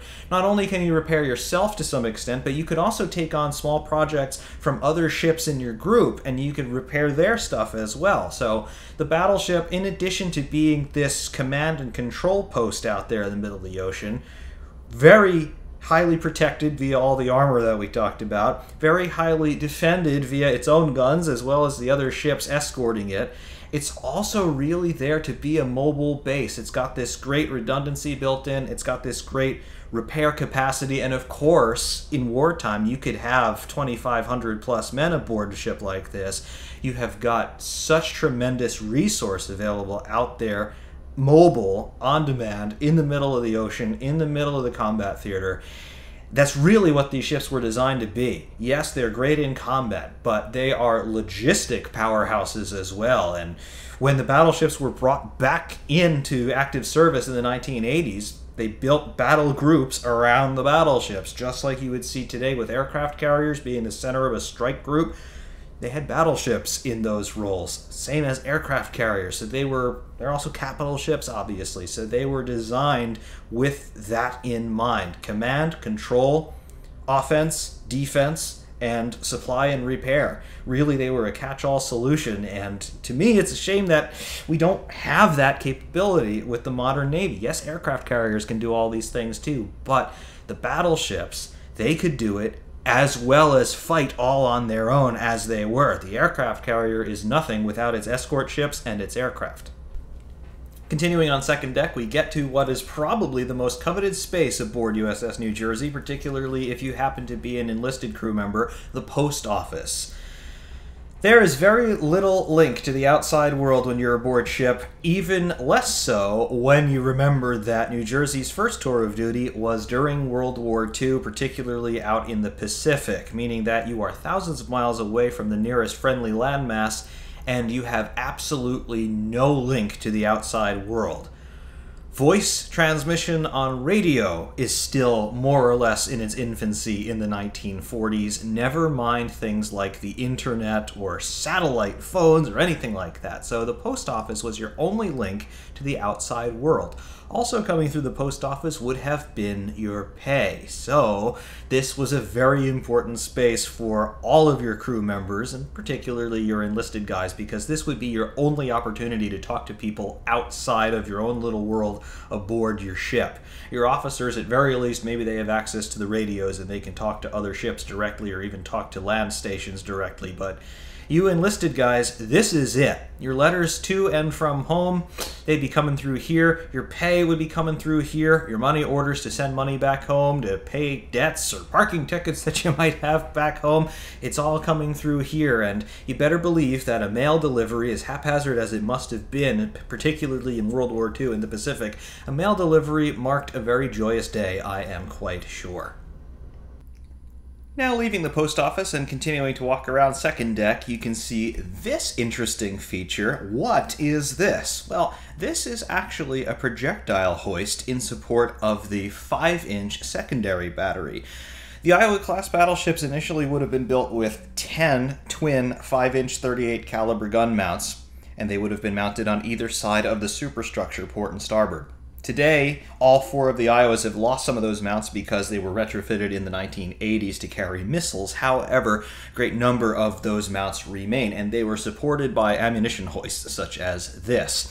You would have had powder and projectiles separate until they met in the gun room, of course. However, the interesting thing about these hoists is that they do not need to be directly underneath the mounts. As you can see here, this hoist is almost tilted over about 90 degrees because obviously there is a magazine space below here in the Citadel, which remember the Citadel begins on third deck, one deck below where we are right now, and your projectile is going to come up and eventually make its way into the 5 inch turret where the crews will then pick it up out of the hoists where the fuse will also be set on fused projectiles, and then loaded into the breech of the gun. A powder canister will come up from its own hoist, from its own magazine, and then the powder and projectile will meet in the breech of the gun, the breech closed, and then the gun will be fired. It's a similar process to the 16 inch battery, however, a bit smaller. These projectiles are only 5 inches in diameter versus the big 16 inchers. However, same process. You do not have an integral cartridge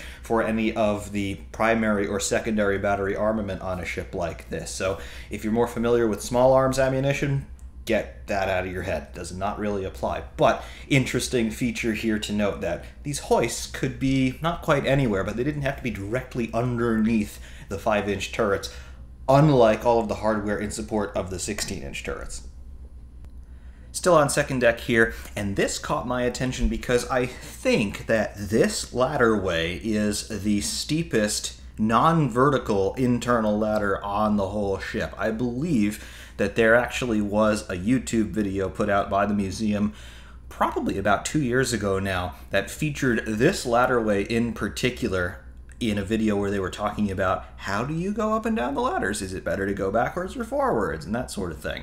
Pretty sure this is the steepest one on the interior of the ship. Of course, there are vertical ladders as well that uh, you will not have to traverse on the tour route. However, you do have this one. This is not on the tour route in terms of you do not have to negotiate this one, but I think it is somewhat accessible. You can see it is outside the post office, so if you really wanted to, you could probably climb up it though, but it is not marked out as a place that you should be, so just use some caution.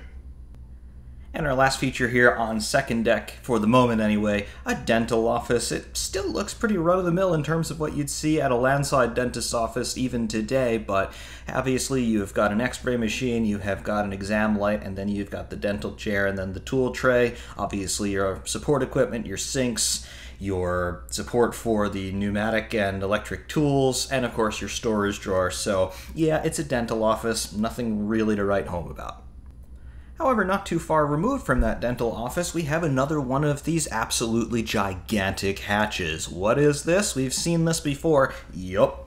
Down below is third deck and the first level of the Citadel. This is a 6-inch armored hatch to fit into the 6-inch armored deck that forms the top of the armored box, and once you get down there, what do you see? Well, this is the interstitial space, I guess you would call this, between the barbette for turret 2 and the rest of the ship on third deck. So what you're seeing there is the support for the turret itself. The turret is resting on top of that ring. You can see the hexagonal bolts in there painted yellow, probably from original 40s era paint, I would say. But we're inside the barbette. Remember, the barbette is the armored tube, the armored cylindrical structure that the turret sits inside, and the barbette physically supports the turret as well and provides all of the ability for the turret to rotate. It rotates on these it's not a ball race exactly but it's effectively like a, an extruded cylindrical rail wheel a train wheel if you know what they look like they're a truncated cone shape effectively that's how the turret also rotates inside of a tracked race there but rather than riding on a rail you've got these bearings that are stuck between the turret and the side of the barbette and just the sheer weight of everything keeps them in their circular path. And of course, they need to be lubricated and all, on all that kind of thing. But there's a colossal amount of weight that needs to be absorbed by that structure. However, the entire turret, which the entire structure, remember the turret is far more than just the gunhouse you can see on the main deck. The whole turret weighs about 2,000 tons. If you could have the turret be its own standalone vessel, it would be about the same size in terms of displacement as a World War II era destroyer. However, that whole turret, that structure that's five or six decks high and weighs 2,000 tons, rotates on just 300 horsepower from a single electrohydraulic motor. Pretty remarkable considering this 80 year old technology, all analog, all put together by very smart people who understood physics. And now to begin with a little bit of jumping around in terms of where we are on the ship. We just closed up around the barbette for turret number two, which is forward on the ship. Turret two, remember, is the aftmost of the forward main battery turrets. Here we're looking at turret 3, at least the turret 3 gunhouse, and a little bit of the turret 3 barbette.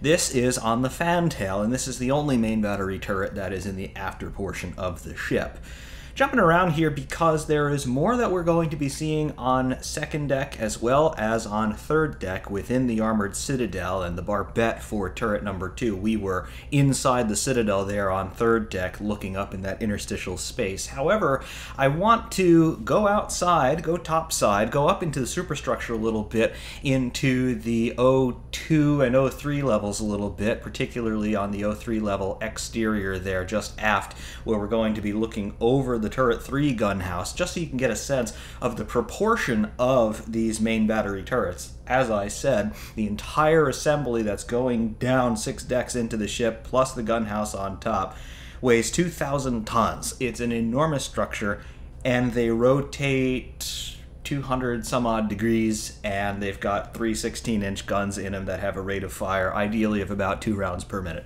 It's an enormous structure, enormously complex. However, we get to go inside one of them. We get to go inside turret 3, which was a change because typically on the self guided tour route, you're able to go inside turret number 1 from the main deck. You can go inside the turret 1 gun house. You remember from the beginning all of the renovations that were going on to the forward main deck that included the access into turret number one. So, to compensate for that, the museum opened up the turret 3 gun house, which is actually a little bit unique. Turret 1, they lost the rangefinder on turret 1 on all of the Iowas in the 1950s. Turrets 2 and 3 retained theirs. So, turret 3 has the rangefinder, and it's my first time seeing one of those rangefinders up close, which was also cool. But we will pick up with a video from the after portion of the main deck on the port side. We'll see a 5-inch mount, and then we'll go inside, we'll go up a couple levels in the superstructure, we'll see some officers berthing, and then we will head right aft on the superstructure. You'll see the helicopter control tower, and then we will be overlooking the gunhouse for turret number 3, and you'll just see how enormously huge some of these things really are operational 5-inch turret.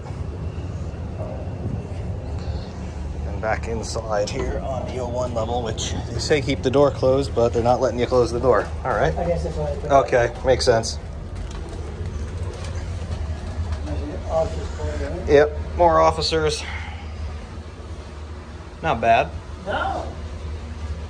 And two to a room rather than 50? Higher ranking. Yeah.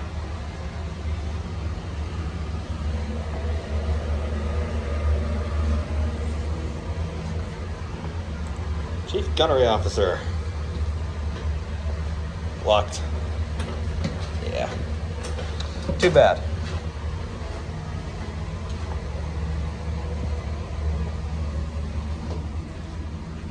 Be down there a little later, I presume.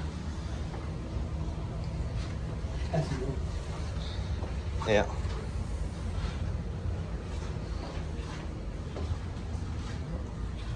Yeah. Yeah. That is a museum edition, I'm sure. Oh, We gotta go up? Yep. There, there was a female head on the ship. I think only because at the very tail end, when you started to have female officers in the Navy, you technically had to be able to accommodate them. But there were never any female enlisted. So we are on the O2 level, the second superstructure level. We are still right aft. Um, this will get us up. I think they want to take us up on the uh, what are now the missile decks and head forward that way toward the bridge, but okay. I'm not sure. We'll find out.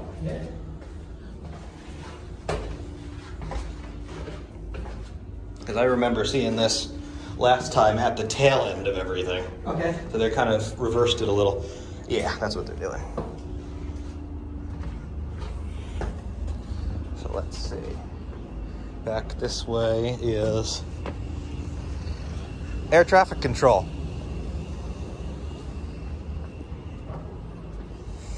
So when the helicopters were coming in, this was how they would direct them, talk them down to the deck. Okay. And then this is the roof of turret three which we didn't go inside. The whole point of us going this way was supposed to go inside. Let's, let's go yeah, we'll go back. But yeah, Iowa, um, the the class leader of this series, just rotated their turret three a couple of weeks ago. I saw that. Mm-hmm. There are hatches in the main deck that are covered up by the turret when it's in this position. So they figured out how to get it running on shore power so that they could load um, a whole bunch of full weight dummy shells that they want uh, to put on display. But they're going to use all the ship systems to transport them, the rail system and whatnot. So they needed to move the turret to make that happen, and they did it. And they're going to use probably that crane or the one on the other side to do that. Periscopes out the top and armor plate on the roof.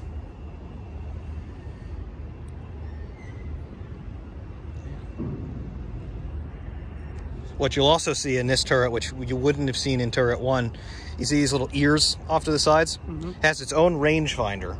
All the turrets had that when the ship was built. In the 50s, they said we don't necessarily need that on all of them, so they took it out from turret one. Turrets two and three kept theirs. And it enables the turrets to operate independently. If you lose everything else, but you still have power to train the turrets and fire the guns, the turrets can do their own range finding. Not as effective as the rangefinders up top, but better than nothing.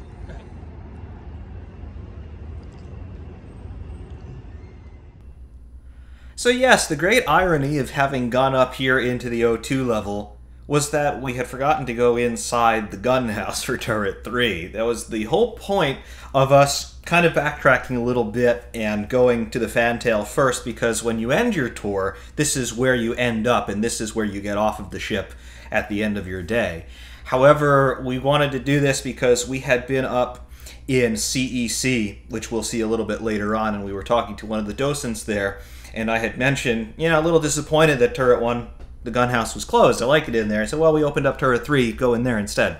So we went back and uh, we were here, but I had gotten caught up in just looking at some of the other mounts, one of the 40 millimeter Bofors mounts that they have here on the fantail the ship, not original to the ship in its 80s commission, but it was reunited with the ship when they opened up as a museum. So we were looking at that. And then also, New Jersey, also unique among all the Iowas in that she has all of her original ship's boats still aboard. So we were looking at those as well. And then by the time we got over to where Mount 56 is. That's the 5 inch mount over there on the port side aft. That's the one that's still active, or one of the ones that's still active. We totally forgot about turret 3. So now we backtrack back down to the main deck, back to the fantail.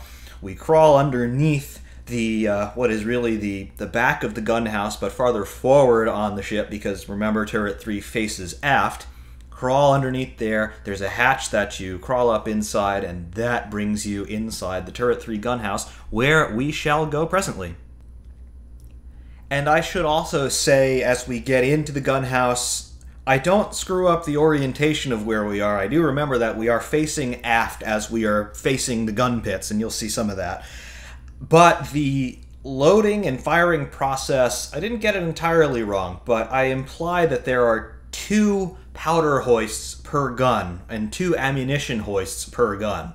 That's not the case. There is a single ammunition hoist in terms of being a shell hoist that brings the projectile up into the spanner tray that will then close the gap between the breech and the back of the gun pit where the where the shell hoist is. And then there is a separate powder hoist, and there's one of them per gun. And there is a car that rides loosely in an elevator track, and it's hoisted by basically what are fancy chain falls under electric power, of course.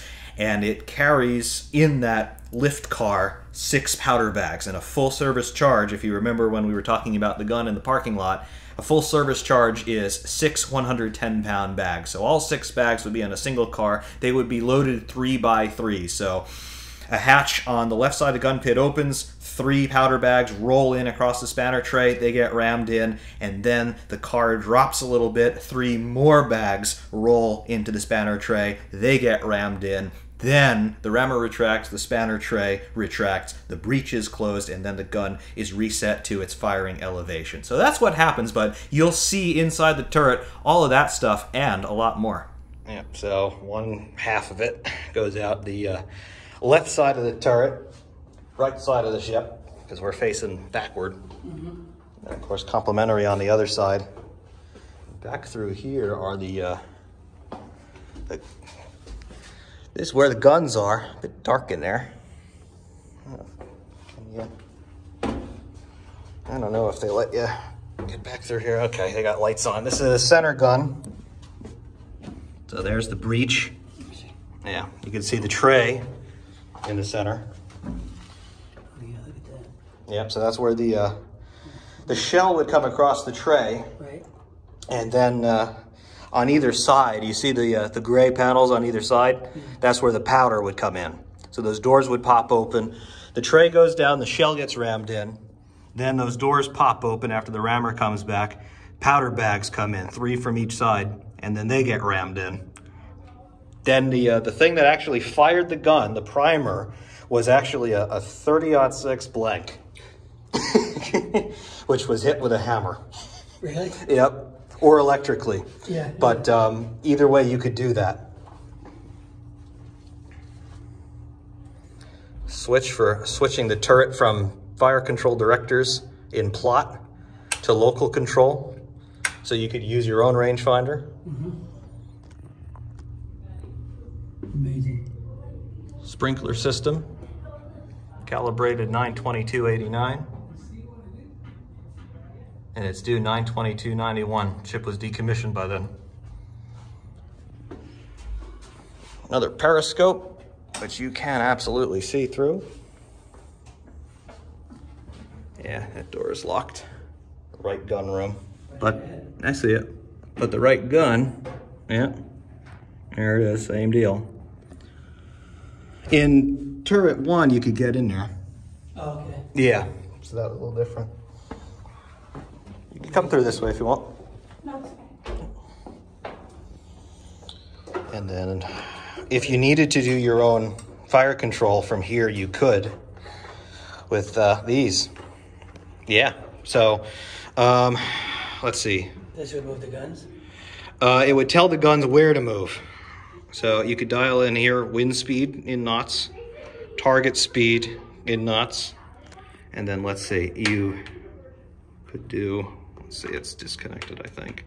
Initial velocity.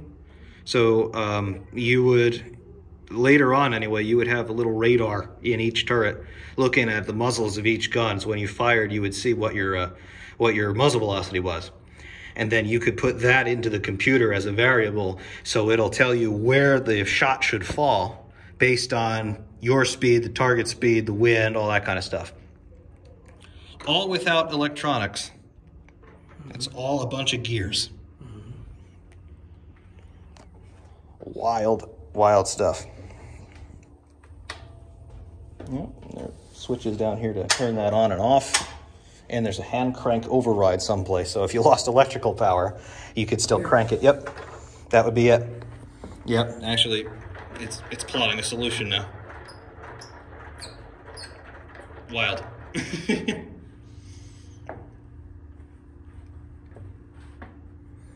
nice. Pretty cool. Except for being cool in here, which is not. Right. yeah. Would have been, this must have been a miserable duty station though, Yeah. because of the heat. You probably weren't in here too much though, right? No. And this is the biggest bore brush. I, I was wondering what that was. Yep, it's a bore brush. You'd stick this down um, from the muzzle and you'd lower it down and then pull it back out. Not how you should clean a gun, but a gun this big, you gotta do something. Underneath the rangefinder. yeah. Cool. Watch your, watch your head. Yeah, I see. Cool stuff. So, aside from having gotten the loading and firing sequence a little wrong, a couple more clarifications. The primary means of firing the guns, in terms of closing the firing circuit, sending that impulse into the breeches, igniting the charges, and then bombs away, that was done electrically. The primer, in terms of the thing that actually ignites the main powder charge, is twofold. Each powder bag has a primer patch woven into one of the sides of the powder bag. The powder itself, it is basically a cordite charge, but each grain of the powder is specifically shaped and then milled down to a specific thickness and then drilled down with holes so that the burn rate of each grain of powder is predictable and consistent However, it's not volatile enough to where if you put a spark to it or you put flame to it or if you strike it with something, it's going to detonate. So the back of each powder bag had a primer charge which was much more volatile. It was another type of gunpowder, basically. And when that took a spark or took a flame, that would ignite, and that would ignite with sufficient force and temperature to ignite the main charge. And that was a cascading effect down all six powder bags, and eventually, when all six are lit, that gives enough impulse to send that shell down the barrel and then 20 miles downrange and then some. Beyond that, to initiate the whole sequence, so rather than calling it a primer, we might be able to call it an initiator, was a brass cartridge with its own primer at the back, just like small arms ammunition. However, it wasn't quite a 30 6 cartridge. It was comparable in length and diameter to a 30 6 cartridge, but it had much thicker casing walls to withstand not only its own charge, but to withstand all the back pressure of about 35,000 psi out of the 16 inch chamber with 660 pounds of powder detonating in there. So you couldn't find one of these primer charges and then put it in your 30 6 chambered M1 Garand, for example derived from it for sure, however, not quite interchangeable. Beyond that, the computer in the turret that we're manipulating in here, this is not necessarily a rangefinder, it's more so to be a range keeper. However, because this is one of the turrets that does have its own rangefinder, if everything did go to hell and you lost spot up high in the superstructure. That's those Y-shaped structures that are on the, the foremast as well as aft in the superstructure. I'll place in some pictures here of Spot 2. Those are your primary rangefinders for the main battery. If they go down, you do have the rangefinders in turrets 2 and 3. They can then operate independently and they would use this computer in order to do that. Your main firing solution, though, for the main battery under normal conditions would be derived from the range and bearing data that Spot, either Spot 1 and 2, are finding, and then the orientational information from Spot 1 or Spot 2 would be sent down into the Citadel into a space called Main Battery Plot. And on the Iowas, you have two main battery plotting rooms, one forward and one aft, so yet more redundancy. Main Battery Plot would then find the targeting solution based on the information given to them by Spot. And then, once they plot a solution using the main fire control computer, the Ford Mark 1A fire control computer, which the only working example of which exists here on USS New Jersey, that would then be transmitted to the turrets electrically. The turrets would get the fire control solution, they would train and elevate accordingly, and then all of that stuff would happen. The guns would actually be fired from one of the main battery plotting rooms. If you're firing the guns manually from the turrets, you have lost spot one, spot two, or main battery plot in general, in which case your goose is pretty well cooked. However, that's really the lowdown of what's going on inside and outside with plotting fire. So once a target has been acquired, an adequate firing solution has been found, and you have been given permission to fire, all the guns in all the turrets are loaded, you're ready to engage the target, it's going to look a little bit like this.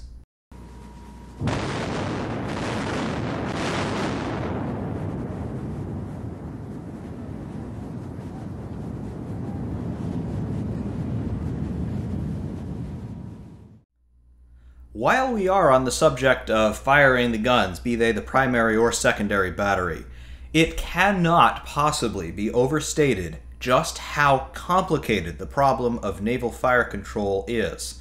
Remember, this ship was designed in the late 1930s, laid down in 1940, launched in 1942, commissioned in 1943. Everything on this ship was conceived and designed and manufactured and put into service with the idea that it would be an entirely analog and manual system, meaning that all of the elements of fire control, in terms of acquiring an enemy target, gaining a bearing to that target, ranging that target, translating that range and bearing information into a fire solution, was going to be based on line of sight optical techniques in the superstructure of the ship. Look in the gray areas in this image. You will see the large foremast, not the black tripod mast. That's a 1980s edition. The mast immediately before and below that. On top of that gray foremast is spot one.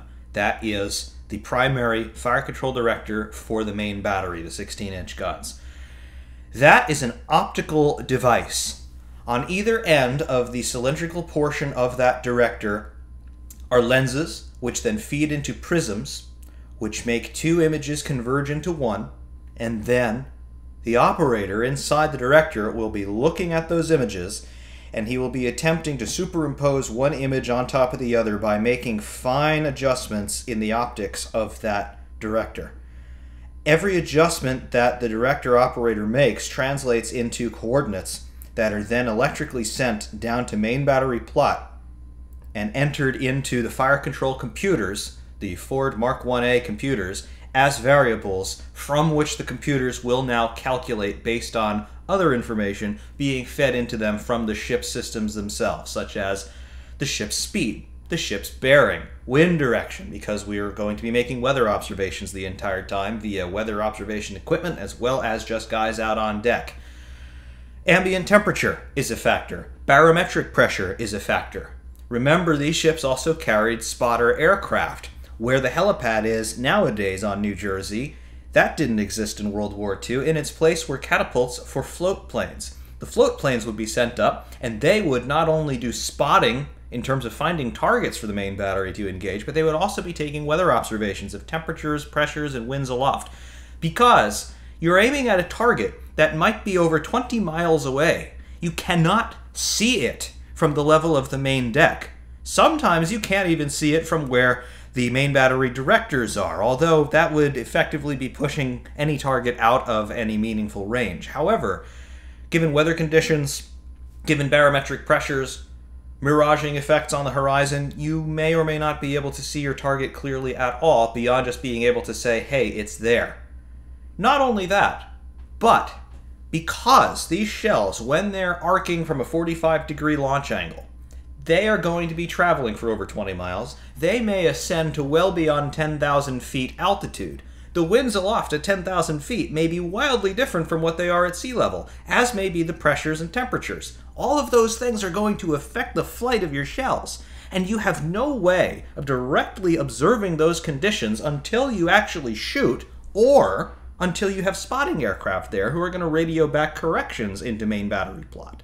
So, not only are you shooting over the horizon in many cases, optically, but you're also counting on the input from forward observers in airplanes, forward observers in other ships in your group, and physically spotting your fall of shot through binoculars from up in the fire control directors.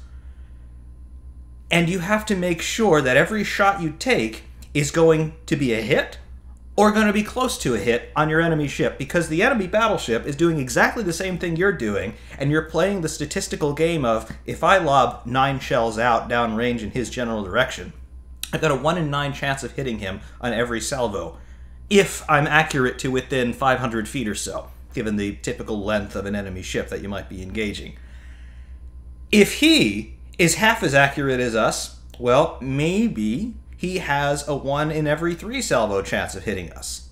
Could be any one of the next 3 salvos he fires. So you see, one hit in the right spot is going to cripple our ship. One hit in the right spot is going to cripple his. We just need to be that incrementally better at solving this fire control problem than he is, which is why you have the tremendous amount of redundancy in every system on this ship, particularly the ones that are surrounding the operation of the main battery. You've got two main fire control directors up in the superstructure. Two of the three turrets, as the ship currently exists, have their own rangefinders and range keepers, and they can plot their own primitive firing solutions if they have to. Two main battery plotting rooms. You have got four directors for the secondary battery, which could be tied in to direct the main battery if all hell breaks loose, and vice versa.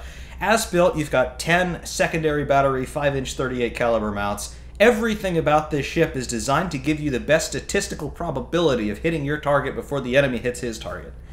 And it's the most complicated thing that you could ever imagine to do because, taking out all of the other variables, you're trying to aim a gun at a moving target when you yourself are on a moving platform that's moving in three dimensions. And by the way, you're not entirely sure which direction your target is moving. So just consider all of that. And then remember engagements such as USS Massachusetts, a South Dakota class battleship, engaging the French battleship Jean Bart from a distance of about 15 to 17 miles. Jean Bart wasn't even moving. Remember the night action at Guadalcanal with the battleships South Dakota and Washington engaging the Japanese battleship Kirishima? And Washington absolutely blew Kirishima out of the water before they could blow South Dakota out of the water. And they did it at night before radar was really radar. So just imagine that for a moment. Leaving the world of big guns and fire control behind, though we're not entirely done with it yet, we continue forward now on the O2 level, that is the second level of the superstructure. We passed the TV studio where the ship's closed circuit television was produced, particularly in the 1980s. It's still kitted out as a 1980s TV studio. Kind of cool, but you can't go in, you can just look in through the door. And the major feature on the O2 level is the Combat Engagement Center, or CEC. CEC is decked out as it would have appeared in the 1980s. Basically, it is a whole bunch of control consoles for the various radar arrays as well as the Harpoon and Tomahawk missile launch consoles, including what is a recent discovery of the missile launch consoles for the nuclear tipped Tomahawks and the keys that go along with them. That was not quite a thing when we did this tour here in August of 2023. However, they had made the discovery of finding the missile launch keys by that point. The museum had done. However, the Tomahawk launch console in there has a nuclear permission to fire slot, two key slots actually, that would have to be engaged with the correct keys and turned at the correct time in order to enable the launch of a nuclear tipped Tomahawk, which the Navy will not confirm or deny that any of the Iowa class battleships ever carried. However, the presence of the permission to fire keys, not just the key slots on the consoles, but the keys that were found on board the ship by the museum curators, that would seem to indicate that, yes, the ship actually was armed with nuclear tomahawks in the 1980s. However, you'll see that and a whole lot more in CEC. Didn't take any pictures in there because the lighting's pretty bad and honestly, it's a whole bunch of computer screens and things that you pretty well can figure out what they look like. And plus, I want you to go see the ship for yourself, so I'm not going to show you everything anyway. However, once you are done in CEC and playing around with the missile launch consoles and pretending to nuke Philadelphia, you then ascend another ladder way to the O3 level, which is where we find ourselves in this sequence of images. The main feature on the O3 level is the Admiral's Flag Bridge, and this is the spot not where the ship would be conned from, but where the Admiral in other words, the admiral who is flying his flag over the USS New Jersey as leader of whatever battle group that New Jersey happened to be in. This is where the admiral would be overlooking the sea space around the ship, taking a look at everything going on in the battle group, and of course being in communication with not only everybody aboard New Jersey in this case, but everybody else in group via the menagerie of communications equipment here. Some of this equipment is original from 1942. Some of this equipment has been retrofitted all the way through the late 1980s. It's a real hodgepodge of old and new in these spaces, but they didn't tend to delete things. They only tended to add, and the reason for that is, once again, redundancy. It is also most likely in this spot where Admiral William Halsey, who was commander of Task Force 34 during the Battle of Leyte Gulf, particularly on October 25, 1944, received telegram from Admiral of the Fleet Chester Nimitz. Halsey had taken New Jersey and her battle group out to the northeast trying to pursue a, what what Halsey thought was a group of Japanese aircraft carriers that turned out just to be a decoy. Nimitz realized that Halsey, New Jersey, and the rest of the group were gone, and he was wondering where the hell they were. So it was most likely in this space where Halsey received the telegram from Admiral Nimitz, which read, Where is, repeat, where is Task Force 34? The world wonders. Halsey received that message, and the story goes he threw his cap on the deck and stomped on it like a toddler. I don't know how true that story is. However, someone as aggressive as Halsey, Bull Halsey, as his name informally was known in his days in the Navy, he probably didn't take so kindly to the last part of that message, the world wonders, as in, have you deserted your men in battle, Halsey? Probably that's how he interpreted that. Was that intended on the part of Admiral Nimitz, or was that part of the security padding that would have surrounded messages like that for fear that they would be decrypted and then read out by the enemy? Maybe it was, maybe it wasn't. Either way, it is now one of the most famous telegrams ever sent and probably the most famous message ever received by USS New Jersey. That happened right here. Going up one level from the Admiral's Bridge is the 04 level and the Navigation Bridge. This is the navigational nerve center for an Iowa class battleship, or really any sort of ship. However, here on the Iowas, the 04 Con was designed to be battle con. This is where the ship would be commanded from in combat. In practice, it ended up being where the ship was conned from most of the time anyway. There are four steering positions on Iowa and New Jersey. Wisconsin and Missouri delete one of them. However, this ended up being where the ship was commanded from at all times, in peace as well as in combat. However, the number one feature that we're going to see here on the navigation bridge is the aptly named conning tower, which is armored to the tune of 17.3 inches of armor plate. It is the single thickest single plate casting of armor anywhere on an Iowa class battleship. It is armored against, theoretically, the primary armament of an Iowa class battleship, given the rule that one inch of armor plate will stop one inch of projectile. That means that, theoretically, the conning tower could take a hit from a 16 inch gun and the crew inside and all the equipment inside would survive. Is that true? Nobody knows. Thank heavens they don't know. However, that is what you'll see here on the navigation bridge. You'll also see a few other features on the navigation bridge, but you will note that this space probably doesn't look all that much like what you might be expecting to see on the navigation bridge of a big ship in that there's no big ship's wheel, there are no big radar display screens, and there's really not all that much space up here. This area around the conning tower that we're going to be walking through was not originally there when the Iowas were built. Iowa and New Jersey both launched with open bridges. The conning tower was always there. That's part of the armored citadel, technically speaking. But the enclosed catwalk around the conning tower, that was something that was added in the middle of World War II to Iowa and New Jersey. Wisconsin and Missouri, they launched with this modification because they thought it would be quite useful. However, that means that there's not all that much room around the conning tower, so it's one of those tighter spaces that you're going to see on the ship. However, it is certainly one of the coolest.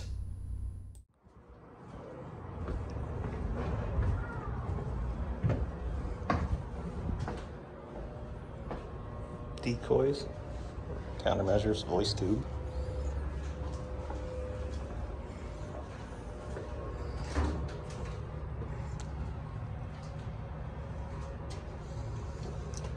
Conning tower. Meant to be battle con, but it became primary con because uh, there's a couple other steering positions, including one way up top on a 08 level that nobody wanted to climb to. So this became it. How do you see? You don't. You got little view slits, and that's about it, which are really meant just for um, ventilation. Mm. But you got periscopes, and of course you've got people outside. Mm.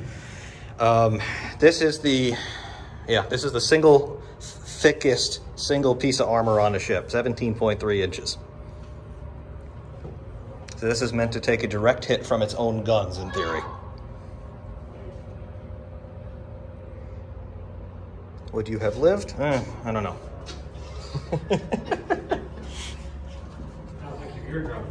oh no.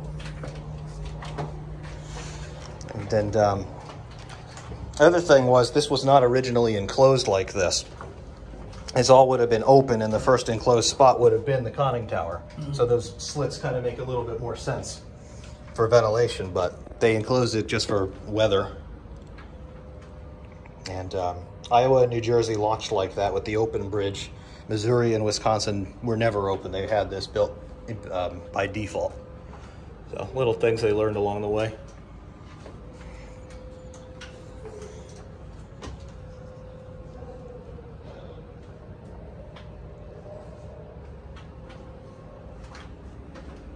Outer side of the conning tower. Yeah. There also would have been glass in here so that um, later on for nuclear biological stuff, it would have had basically the ability to seal that completely, in theory. In theory. Would it have worked? Thankfully, we'd never found out. And you think it's pretty well protected. Yeah. Slots. Yeah, you would be. But from the concussion of everything, who knows? Yeah, true. This door is, I think, 23, 2,400 pounds. It has its own hydraulic system to close. yeah. Yeah. Very still in there.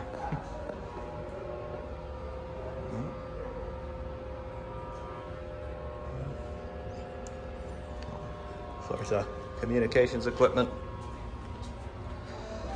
That's the horn.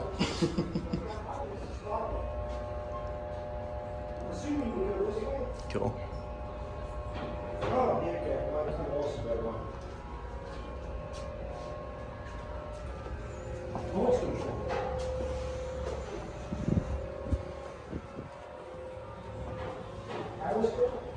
Chart House.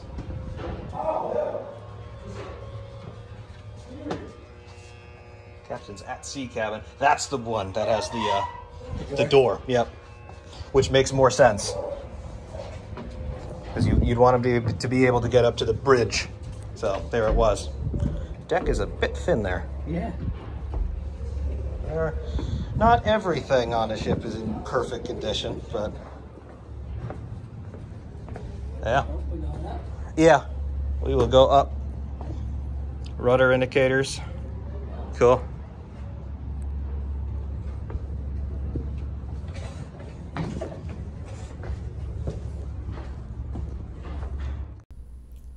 So, the navigation bridge on an Iowa class battleship, does it look the way that you thought it would? Probably not. Bridges, in terms of traditional nautical engineering, they were open structures so that you would have an unobstructed view to the horizon and, of course, all around the ship at all points in between. However, as technology increased, ships started to go faster, and more importantly, you started to get better technology in terms of navigational aids. Obviously, lighting, so you could have some lights on in the fog, so perhaps you don't need to be up high and outside in the elements all the time to see quite as far. And now, really, in the era that New Jersey is built, you're going from line of sight navigation and star charts and things like that to having things like radar and radio. So the need to have an all open navigation bridge is quickly diminishing, and we see that in the design of New Jersey herself. Initially launched with an open style navigation bridge without this enclosed catwalk structure around the conning tower, but by 1944, New Jersey had her first enclosed bridge, which was a circular structure. Outwardly looks similar to the one that exists today, but it was semicircular rather than this squared off arrangement. However, by 1945, by the end of the war, this structure that we're in now existed, and this obviously remained for the remainder of New Jersey's active service career, and of course, it's maintained today as a feature of the ship. It's been on the ship for far longer than it ever was not on the ship, so it is part of the original fabric of the ship, particularly going back to the World War II era, so makes sense to maintain it as it is. Beyond that, though, that conning tower, 17.3 inches thick, theoretically could resist a hit from a 16 inch shell. Would not want to be inside in that particular circumstance because even if you survived the concussion effects, you would probably be deaf, and who knows what other internal damage would be done from that sudden pressure difference going through the conning tower. So, don't want to find out. Thankfully, we never did find out, but you can see in there you've got a control set for sending commands to the rudder. You have got telegraphs for sending commands down into the fire and engine rooms. None of those controls do anything in terms of directly influencing behavior of the ship. The wheel does because that is sending an electric signal down to the hydraulic motors in after steering where the rudder posts actually are.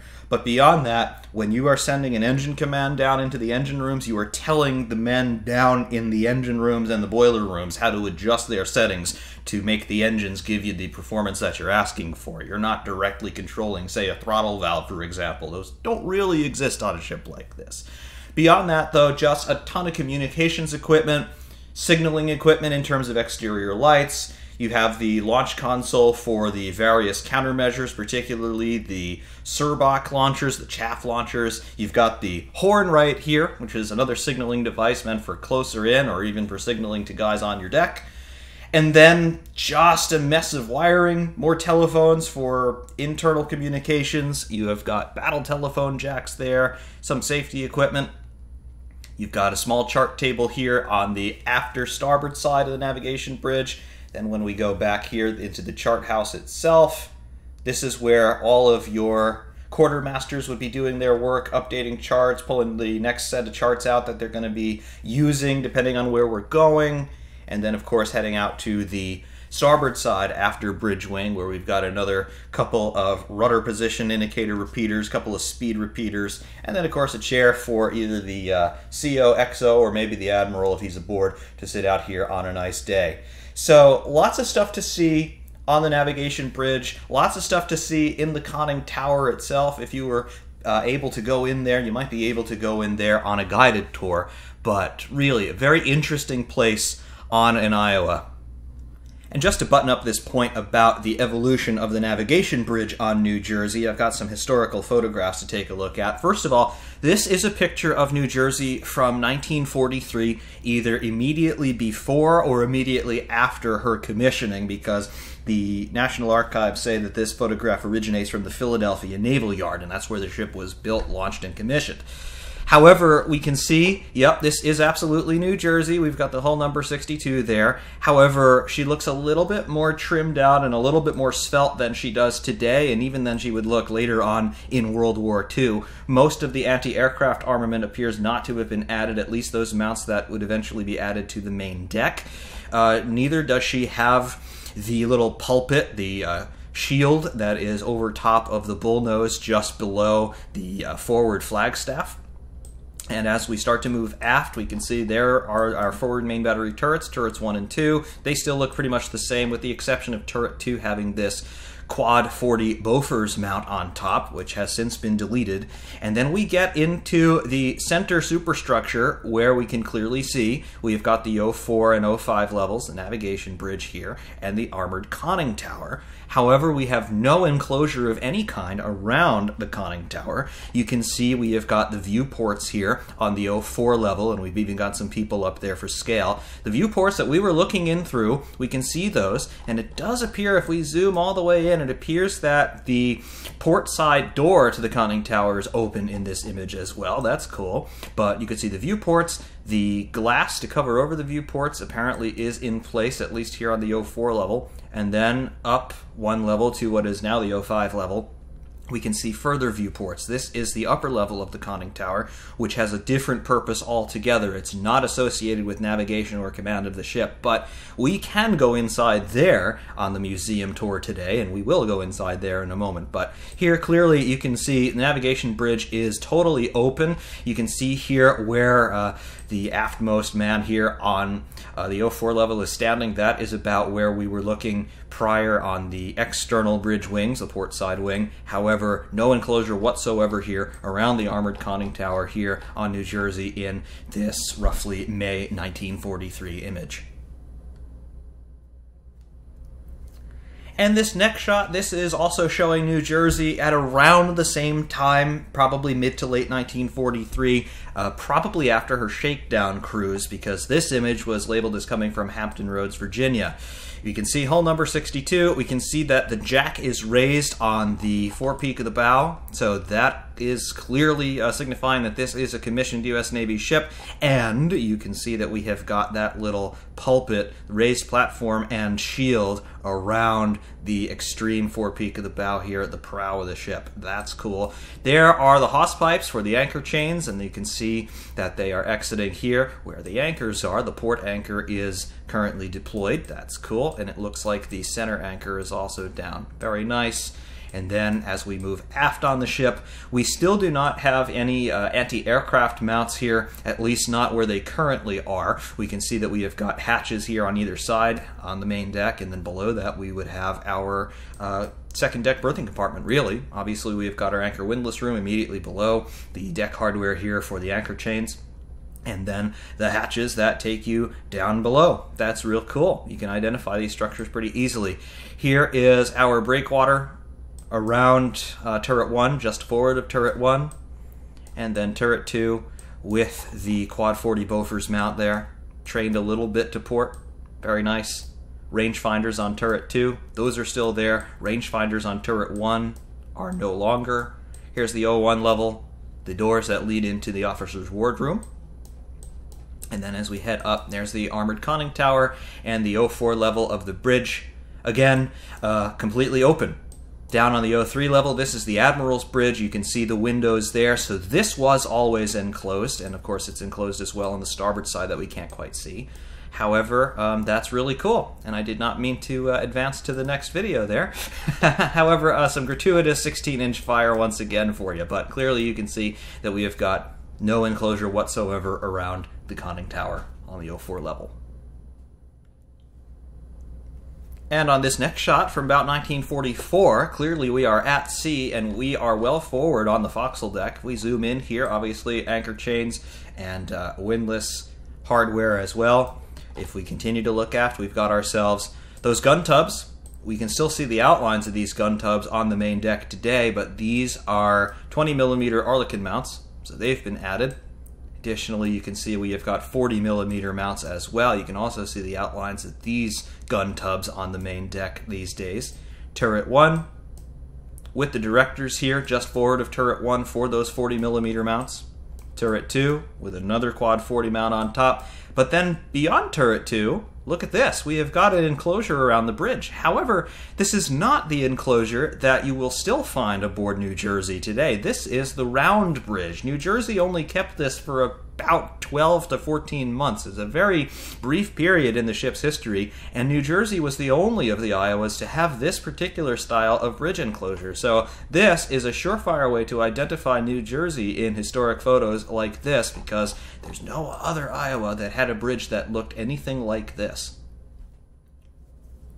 and this much closer, much higher resolution image, we can see we've got turret 2 trained over to the port side in an over-the-shoulder configuration.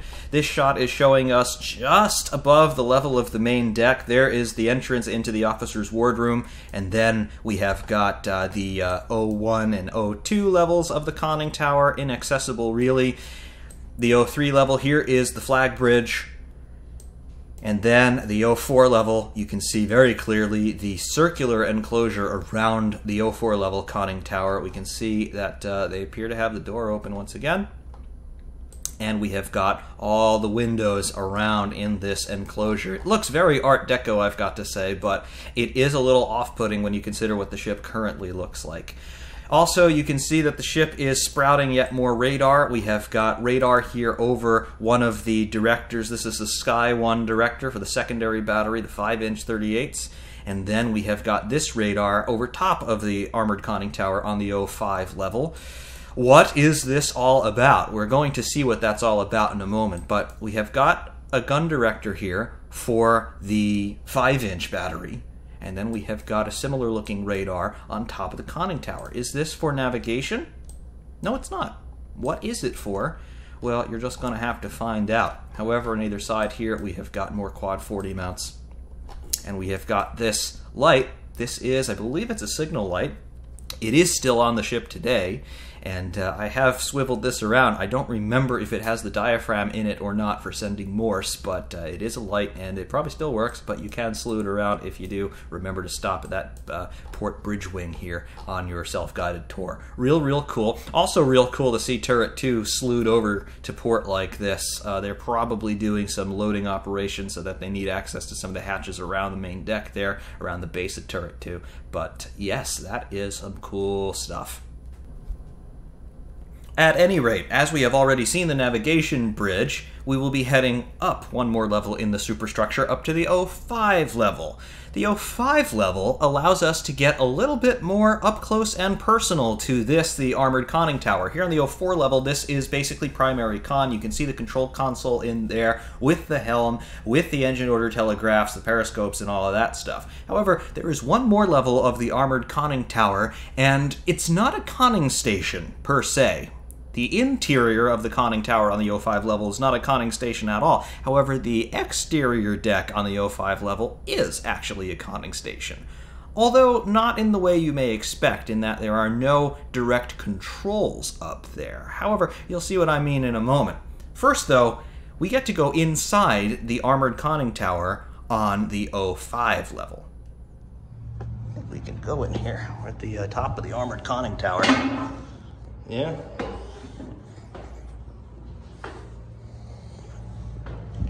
Well, this is quantifiably the safest place I will ever be. I am inside 17.3 inches of armor plate cast as a single piece. Periscopes out the top still work.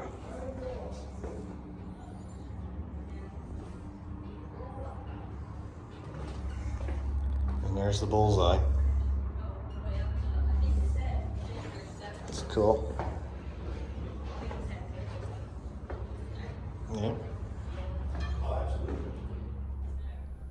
Right, so up until this point, we have been referring to the conning tower, first of all, as the place where the ship can be commanded from, and that's absolutely true, up to the 04 level. And we've also been referring to fire control for the main battery as Spot 1 and Spot 2. What this 05 level conning tower position actually is, though, it's not a conning position, but it's another spot position. This is spot 3. This is a radar driven fire control station for the main battery. That radar mast on top of the conning tower in that 1944 photograph of New Jersey, that's what this was for. The scopes in here, periscopes obviously for optical line of sight ranging, but you have got radar scopes in here, radar repeaters, which are then going to be able to use the newfound technology of radar to find range and bearing information to targets of interest. You can then, via all of the selectors in here in terms of your indicators and your cross-connect switches, send that information down into main battery plot who will then find a targeting solution with the fire control computers, probably corroborating the data that you're giving them with the data from spot 1 and 2. However, this is spot 3. This is an auxiliary, technically speaking, fire control station for the main battery. However, it is a radar fire control director really cool. It's in the top of the armored conning tower, which means that you can be inside 17.3 inches of plate armor, should you wish, aboard USS New Jersey, and that's a really cool feeling. Returning to one of the models of an Iowa class battleship that I have now, just to show you where we are. Again, this is showing Missouri in her 1944 configuration, so things are a little bit different, but still pretty much enough correspondence so that you could find your way. There's the 04 bridge with the windows around it. Missouri launched with this configuration of bridge, so just like New Jersey looks like nowadays. And then up on the 05 level, this is the top of the armored conning tower. And then behind that, we have got our Sky 1 director for the uh, secondary battery, the 5 inch guns. Also, immediately between the conning tower and Sky 1 director, we have got a director for the 40 millimeter guns, which you can see here on either side of the superstructure. However, just around the top of the conning tower, we can see that we have got these square and circular protrusions there. That's what this 1 700 scale model is doing its best to uh, represent some of the repeater sets that you'll see up here in terms of what's our speed, what are the engines doing, what's our rudder angle, things like that. And we're going to see what those things actually look like, and we're going to be able to manipulate them in a moment here from the 05 level. Also, you get a really commanding view from up here. Remember, you no longer have this 40 millimeter mount on top of turret number two, which means that you have an unobstructed view all the way ahead, all the way out to the very bow of the ship, and then all the way up to the Ben Franklin Bridge, where New Jersey is sitting today. So, the 05 level looks really cool. We're going to take a look at what you can see up here. Also, up here, though, and you won't see this on the model that I've got here, you will also see very stark indications of New Jersey's life after the World War II era. Remember, New Jersey was commissioned in World War II, Korea, Vietnam, and then actions in the 1980s in the Mediterranean and Persian Gulf. So the ship lived a very long life, and technology absolutely exploded in the time that New Jersey was an active ship, meaning that all of the anti aircraft mounts that you see here on this model of Missouri, as well as in the historical photos of New Jersey, they are now pretty much all gone, and they have been replaced with very sophisticated technology by way of countermeasures in terms of flare and chaff launchers, and offensive weapons such as Harpoon and Tomahawk missile launchers. So you're going to see a whole bunch of that stuff as well. The midship superstructure is probably the single most changed area on board an Iowa class battleship nowadays compared to what they looked like when they were first brought into commission. So the 05 level, we spent quite a few minutes up here taking a look around because there's quite a bit to see. Yep, 05 level are the whip antennas that are 30 feet, I think. Yeah. So we're standing right on top of the windows of the uh, of the main bridge, basically. And repeaters for uh, what the engines are actually doing. Shaft RPM on all four props. Rudder angle then you could give your uh, you could give your tiller commands basically here to your helmsman who's most likely down below you there. And then you could dial in whatever course you want. We're headed roughly east so let's match it up. Or are we headed roughly north actually? Yeah we're more north than east whatever cool. Yeah. And, this was not open last time we were here. Not not up this high. Yeah.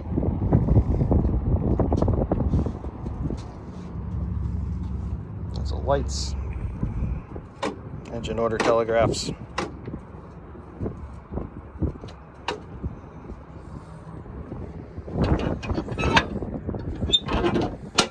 Small arms box maybe for problem crew members. These boxes, I think they have something to do with the um, the 80s electronics, the countermeasures, jamming the missiles, that sort of thing. But this is one of the directors, they called these um, Sky.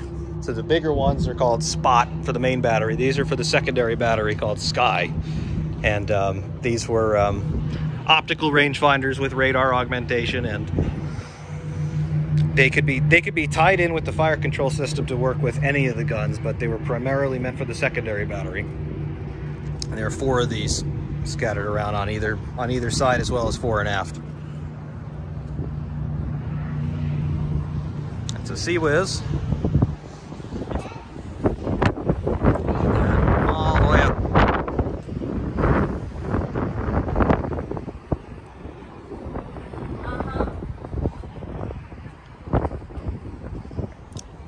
It is a nice breeze up here. Let's see if they've. Dog didn't shut. Oh well.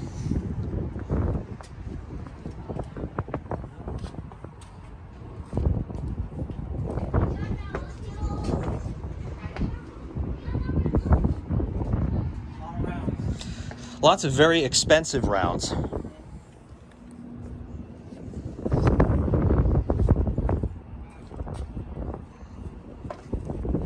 that's a step.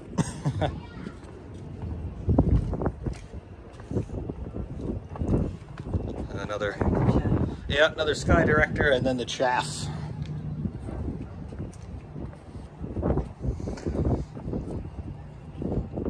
The SRBOC mortars. So if you got a missile coming at you, these pop off and hopefully confuse it long enough so that it misses.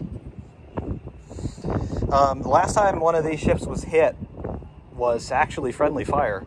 Um, in the Persian Gulf, I think it was Missouri that was hit by a British destroyer or cruiser, whatever, that was in the battle group.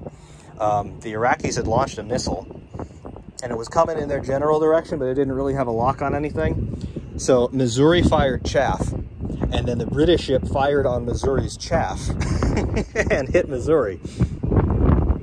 Oops. Nobody was hurt, but there are still bullet holes in Missouri from it. Yeah. Forward funnel and forward aft superstructure. Tomahawk box launchers, funnel number two. Spot two is behind that. Yep. They got one of the launchers open.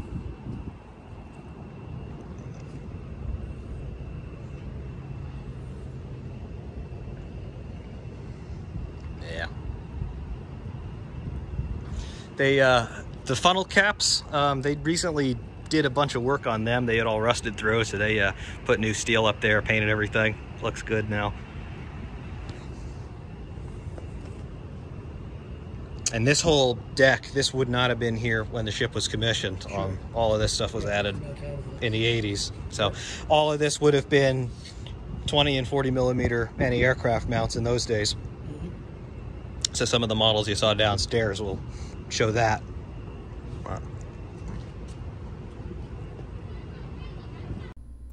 So yes, a look around the 05 level. As you can see, there is a lot going on up here, and there is a great clash of old and new. Here we've got some shots that I took in 2022 up here on the 05 level. Here you can clearly see the Sky 1 director and then the center fire control tower, your principal part of the superstructure, and then we turn around and we look forward. We've headed a little bit farther aft, but looking forward over the bow, just the bottom of one of the CIWS mounts visible there. CIWS, that is close-in weapons system, and this particular type of CIWS is called the Phalanx.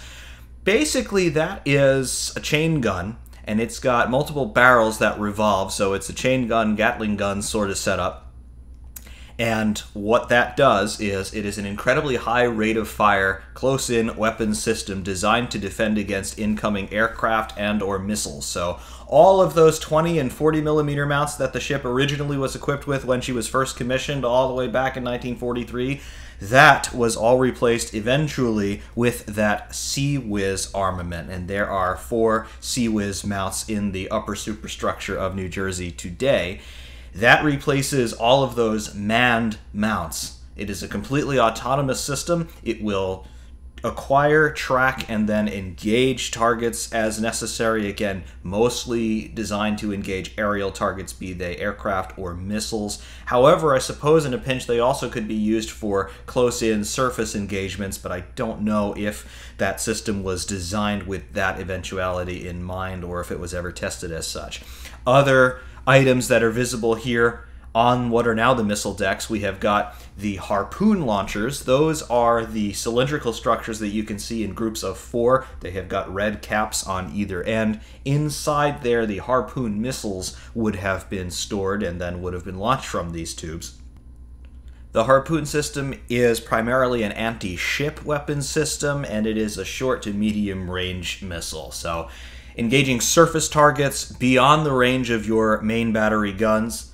That's uh, what the Harpoon is designed for. And really, the Harpoon was designed for use on cruisers, not battleships. But it just so happened that in the 1980s, when the Navy decided to reactivate all the Iowas, hey, we've got this spare real estate, let's put Harpoons on them too.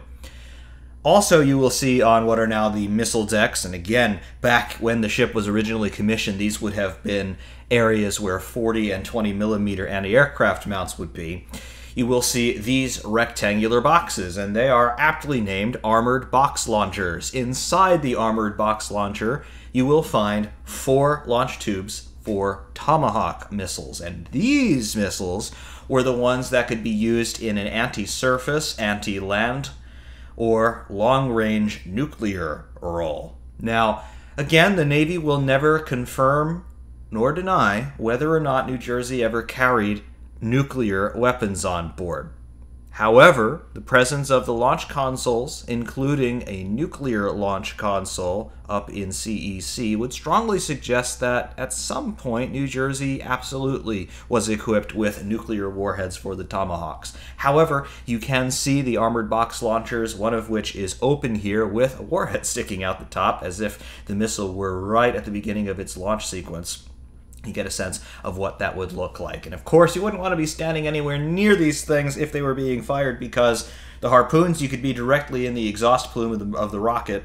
And the tomahawks, although you're probably not going to get behind the box launcher, you're going to be well deaf, if not suffering radiant burns from the rocket plume as it's flying out. So, yeah, this is a cool place totally not original to the ship. So this is one of the places where you can pretty much forget that you're on an 80-year-old ship and perhaps you're on something far more contemporary because most of this equipment is still contemporaneous with the modern Navy. But this is what it looks like today here in about amidships on the 05 level of New Jersey.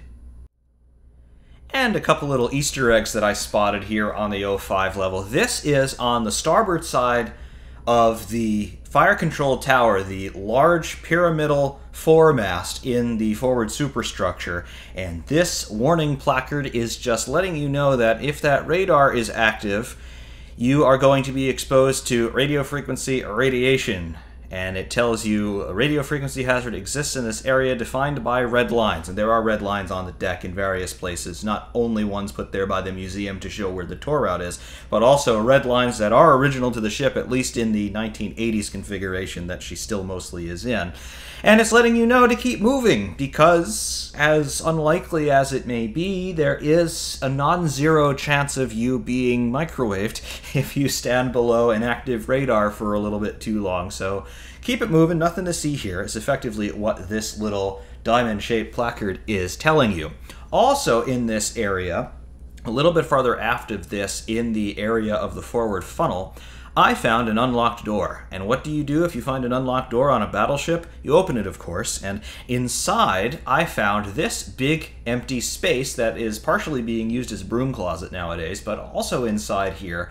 This is, believe it or not, the casing for the uptakes, the exhaust stack for the boilers, at least in the uh, forward parts of the ship, because this is the forward funnel, and we do have an aft funnel as well on the Iowa. So this space, not on a tour route, not open to the public, but was unsecured that day. So yeah, I got to get up close and personal with the uptake casing inside what is really the outer cladding of the superstructure. That's not really structural here, and nothing here is armored either for the most part. And uh, you get to see a part of the ship that most people probably haven't seen unless you happen to work uh, on an Iowa today in their museum careers or if you happen to be former crew of an Iowa. In either case, you would not want to be here when the ship is at all powered up because I'd imagine this would be mighty hot because all of the exhaust from the fires, the oil fires that are turning all of that boiler feed water into steam for powering literally everything on the ship, that exhaust has to go someplace. So all of the empty space around this casing, and there are also a couple of struts on either side providing some structural support to this, and also most likely allowing for the thermal expansion and contraction of this casing as things get hotter or cooler, depending on what sort of load the ship is under. Very interesting to see. Obviously, there is some access points in here because sometimes maintenance would have to occur in this space. However, for the most part, this is pretty much an empty void on a battleship. On a ship where everything has an explicit purpose, even the empty space must have an explicit purpose as well. Again, I think for thermal control. But yeah, an area on the ship that you probably won't see anywhere else unless you too happen to find this door unlocked and take a peek inside. Another point of interest up here is Spot 2. This is the armored tube supporting the rangefinder and radar for Spot 2. Again, another rangefinder and fire control director for the 16 inch battery. If there is any obscure location on the ship, not on the route, that I would really like to get into, this is one of them because it's, it's just a weird looking structure, but I know that uh, it probably still works if you could rotate this.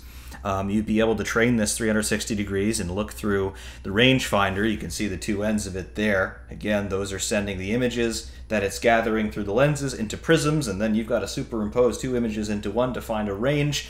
But uh, I would like to be able to go inside there. Maybe someday I'd be able, but not able today, apparently. However, also you will see here some indications of the ship in its museum service rather than any other period of its active history. You see here just to the right and below spot two, you will see we've got some air handling equipment there. That's not original to the ship. That is an aftermarket air conditioning unit added to keep things cool. You can see that uh, the day that I was there was pretty hot, fairly humid. It's pulling a lot of humidity out of the atmosphere, meaning it's just draining all of this water directly onto the deck, and you can see some of the implications of that as that's been going on over time. Not the best. Clearly, there will have to be some work done in the near future on this part of the deck. However, it's just part of the game. It's a ship, it's in the water, it's always going to be wet wetness and steel don't particularly mix very well, so it's a never ending game of find the corrosion, remove the corrosion, paint over the corrosion, find the corrosion, remove the corrosion, paint over the corrosion, repeat forever and ever. So, yep, just one more thing that you'll see here up around what are now the missile decks. Descending from the after portion of the 05 and 04 levels down to the 01 level, that's to say one level above the main deck, we are suddenly confronted with this plaque, obviously commemorating the United States Marine Corps. This is a Navy ship. What are the Marines doing here? Well, the Marines played a very important role aboard this ship and many others. They, first of all, did security, but they also manned many gun mounts, including this tremendous gun mount. What is this other turret? Well, this is one of the 5-inch 38 caliber twin mounts that used to absolutely pepper this ship on both port and starboard sides. Somewhat reduced in terms of their disposition nowadays because the Iowas, they all launched with 10 of these. Today they retain only 6. However, these 5-inch 38 mounts, they are indicative of probably the most used workhorse naval gun in the World War II period for the United States. This gun was the multi-purpose secondary battery that could engage surface, land, or air targets. The barrels could train up to 85 degrees elevation. They had a maximum effective range of about 10 miles, and they could fire high explosive, they could fire armor piercing, and they could fire fused chaff and flak ammunition for anti-air engagement. So a very versatile gun. They are all manually loaded, just like the 16-inch guns, but it's a little bit easier of a process because you have got a 5-inch shell that weighs 50 to 60 pounds rather than a 16-inch shell that weighs up to 2,700 pounds. So you'd have a lot of men inside each of these turrets, and they would be handling the powder and the shells They'd be loading them into the breeches of the guns and then firing them just like you would for the big 16 inch battery, but it all happens a lot faster. Rate of fire on these, I think, could exceed 10 rounds per minute, maybe even up to 15 rounds per minute if you had a particularly ambitious crew inside the mount. But we get to go inside this 5 inch 38 mount, and here's what that looks like. 5 inch turret.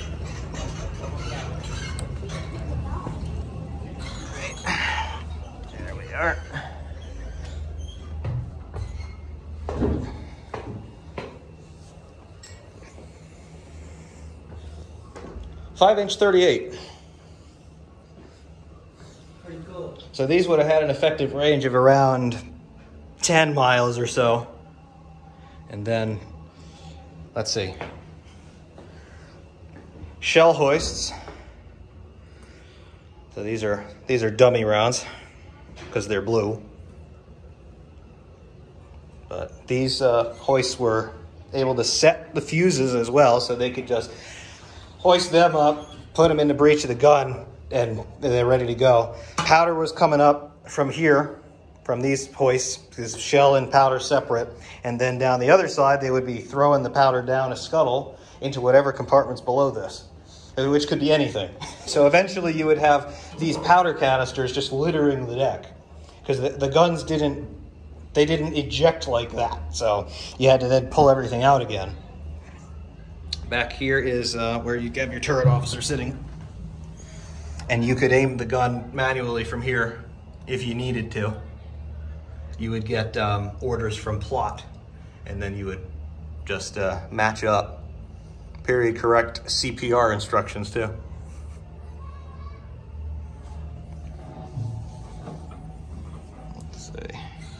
Read that. Cool. A little bit bigger than my uh, 22 rifle. Same principle though, which is the wild thing.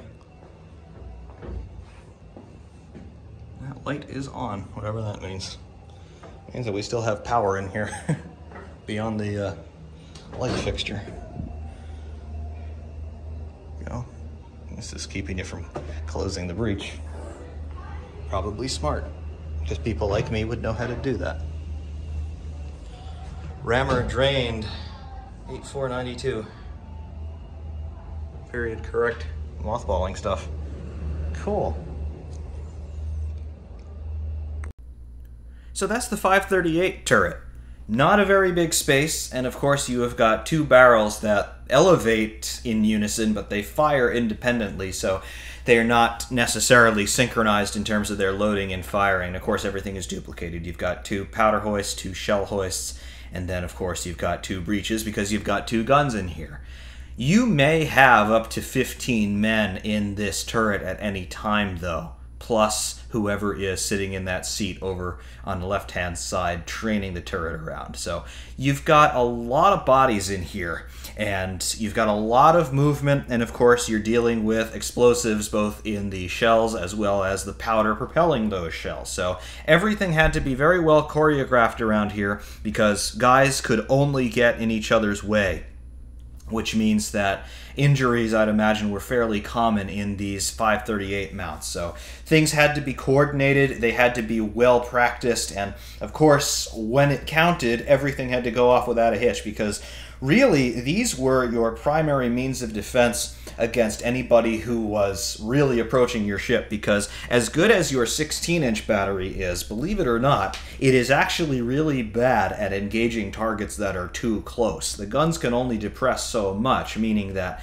once something gets within a given distance your 16 inch battery is useless and now you're relying on the 5 inch battery which can engage surface targets almost basically right up next to the ship and of course, if things really went bad, then you've got the 20 and 40 millimeters in the World War II era or the CIWS in the modern era. But that's what the 5 inch turrets look like. Again, the ship would have had 10 of these as built. She's got 6 of them today. A couple of them are still active. They function as saluting batteries nowadays, but they do actually still come to life every once in a while. And for a nominal donation of, I believe when I last checked it was $500, you too can fire a 5 inch 38 aboard USS New Jersey. And speaking of getting to fire some guns, Here we go. Five, four, three, two, one, fire!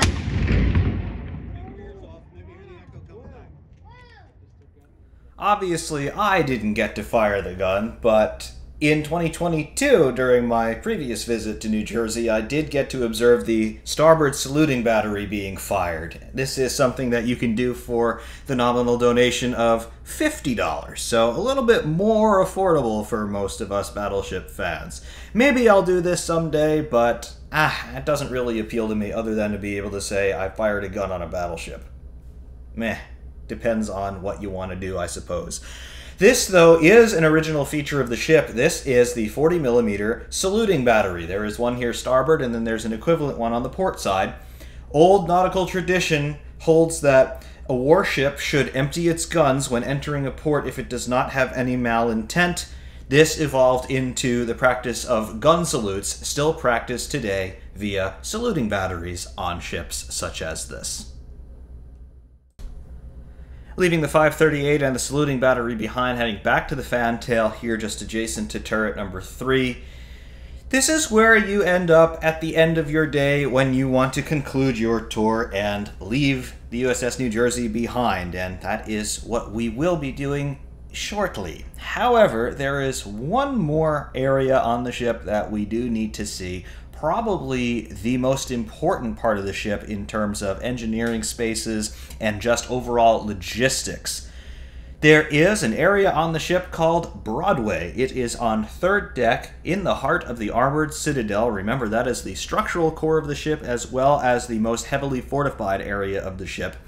Broadway is the longest contiguous straight run corridor anywhere on the ship in the interior portion of the hull. And it is off Broadway where you have basically all of your engineering spaces, your magazine spaces, your access to the barbettes, at least for turrets 2 and 3, as well as, believe it or not, some navigational spaces. Broadway is one of those places on New Jersey that really does drive home the point of I'm on a battleship because, again, you have a wonderful blending of old and new all coming together in the same space because coming off of Broadway, you have boiler rooms and you have engine rooms that are all original to the 1940s, but you also have magazine spaces that have been adapted to handle all sorts of different techniques in terms of regulations required to keep things safe, PPE, all sorts of notices about danger. Don't touch that. Don't look at that. That might cause death in some other place, you know. So all sorts of contact between history and more contemporary things, as well as being able to see the engineering plant of a ship like this. It is definitely a unique place to be. Let's go there now. So, heading back inside the ship, down to third deck, inside the armored citadel, what are you confronted with? Well, this is the sight that you will find when you come across Broadway for the first time. We are forward looking aft. This is the longest contiguous run through the hull anywhere on the ship, and here you can really get a sense of that as you look down through the passageway. You see all of the bulkheads with the joiner doors through the bulkheads. They just go on and on and on forever and ever. It is quite a long way down this corridor, and for good reason, because access to all of the engineering spaces and many of the magazine spaces, particularly those for the secondary battery, comes off of Broadway. Also, in the overhead, you will see that we've got that yellow I beam. That is part of a transport system for transporting anything you want, in particular 16 inch shells from forward and after magazines between each other. That door, though, that you walk through to get onto Broadway, it is this behemoth. This is a watertight door, obviously, but it's an automatic one. It will seal and lock itself automatically whenever it closes. So you can see all of the clockwork mechanism in there actuating the dogs on all of the sides of the door. That is why, and this is the doorway that you go through to access Broadway from the forward end of the ship. However, if you look through the adjacent doorway, you will see a rather familiar looking sight by this point. Remember the armored conning tower on the 04 level, and you have the control console with your helm as well as engine order telegraphs?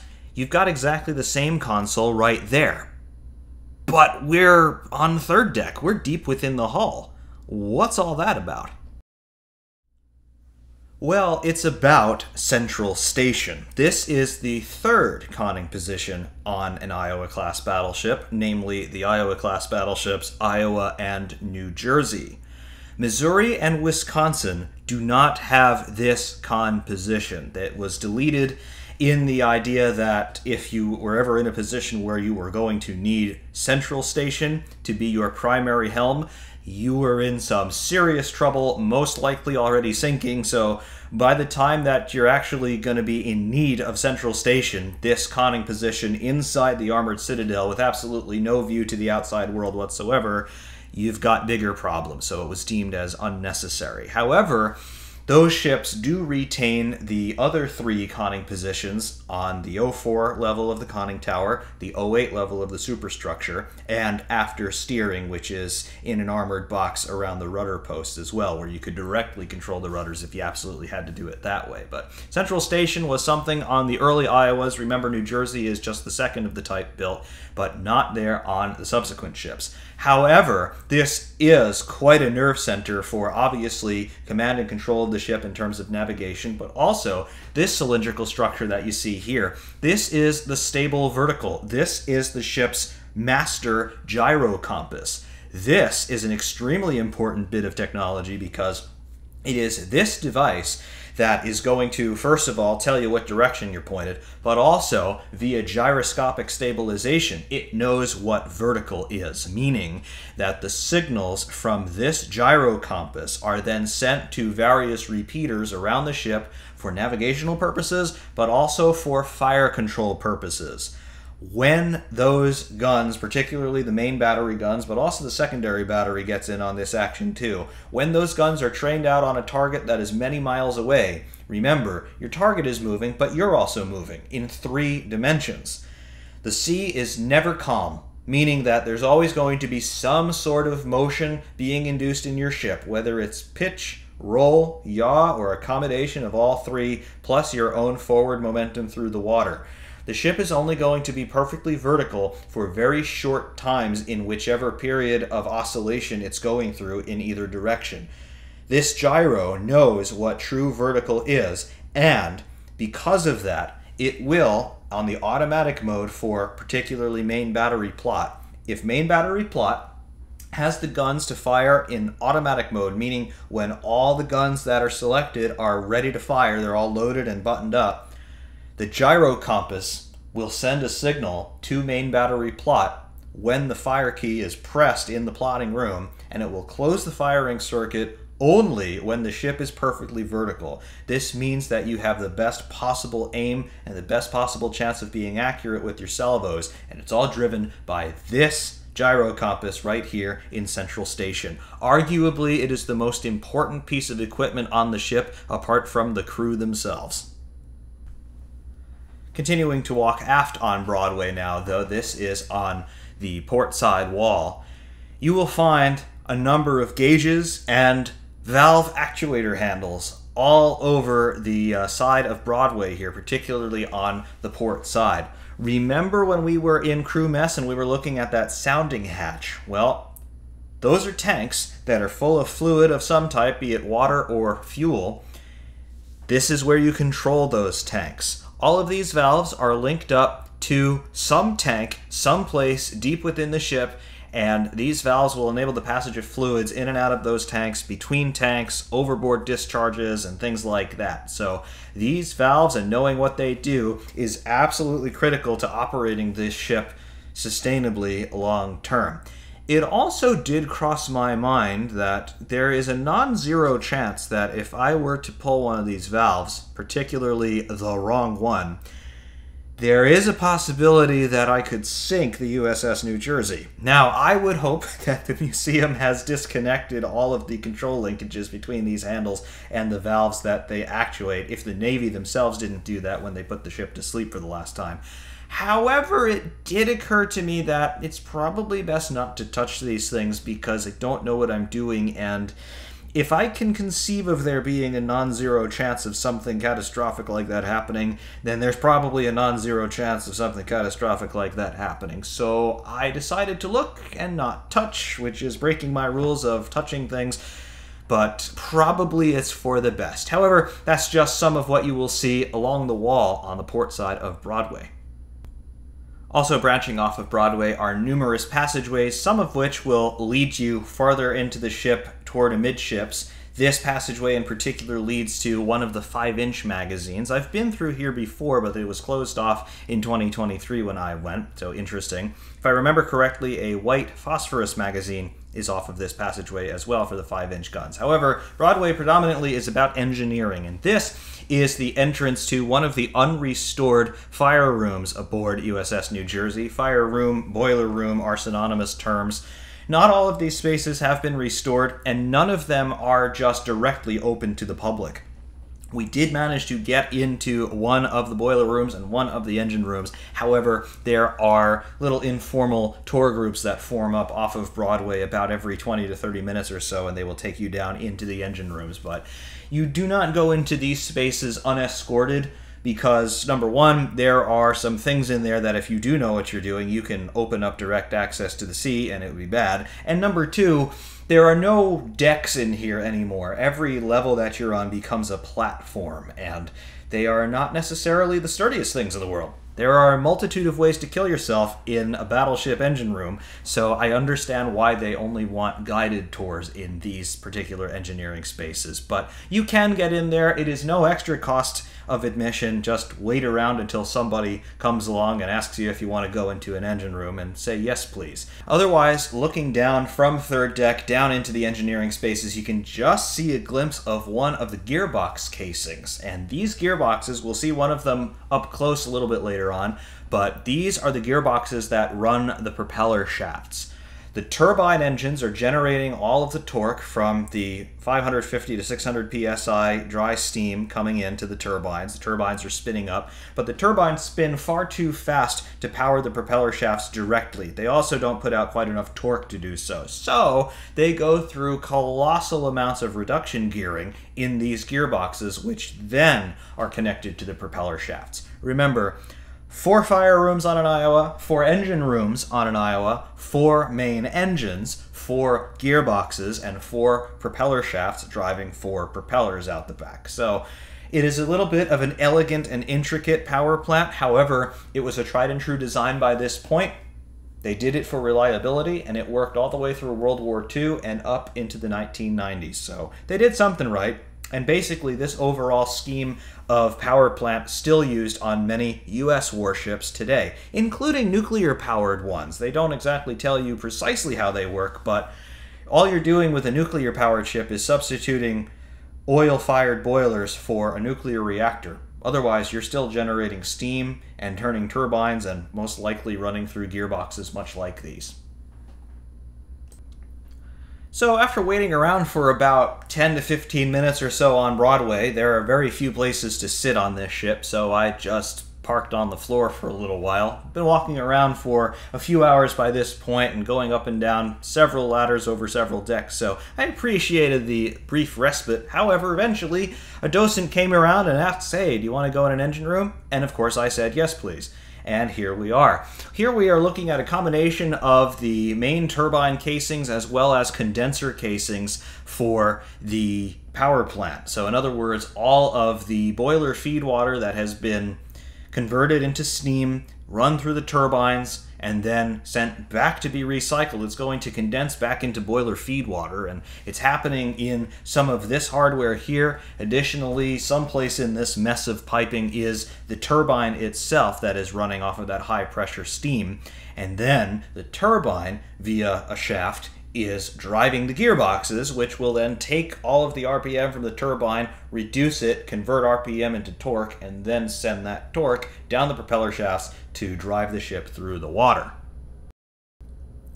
I didn't really take all that many pictures down in the boiler or engine room, mostly because it was basically a guided tour at this point, and I wanted to show some respect to the docent who was doing her best. She was giving us her memorized spiel, and she was very enthusiastic. I appreciated that. I did catch a little snippet of uh, part of her lecture when she was talking about the boilers, and she was passing around one of the fuel injector rails for us to take a look at that you would shove into the boiler, and then that would be lit up. All of your pressurized fuel, be it bunker C or marine diesel, going through this injector rail is sent into the fire, and that's basically how you change the ship's speed. You change the injection density of the fuel. More fuel means more power, and more power means more speed, and that's what it was. I am intentionally cutting off her head in my photography here because she did not explicitly consent to be filmed or photographed, so I was respecting her privacy even though she was at work and we didn't have any restrictions in terms of anything that we could or could not photograph, but I just don't like to do that to people. So you will hear her voice partially, and you will partially see most of her body, but you will not see her face. So that's why. Take this right here. This would be Dalston oil. take the USS New Jersey Zippo lighter, that would have been for sale in the gift shop, light that up, slide, slide it in that red hole, open your fuel, open your air, a pop, now your burner is on. Now, once these are on, they basically would leave these on. Um, only would have one of the eight down at a time for maintenance because you don't want everything to cool down completely. If this ship cooled down completely, it could take up to 48 hours for it to properly heat back up. So, leave these on so that you can leave with a drop of hat if you need to. Now, like I said, this is for your fuel, this is for your air, this is your fuel injector right here. Originally, this ship was running on something called bunker C, um, which is a very thick and gray type of fuel. That was for the first three commissions, and then when the ship got its big overhaul in the 1980s, Well, I had to cut off there because, well, she was going to hand me the injector rail next. It's heavier than you would expect, but then again, it makes sense because it's going to be in a raging inferno for maybe weeks at a time.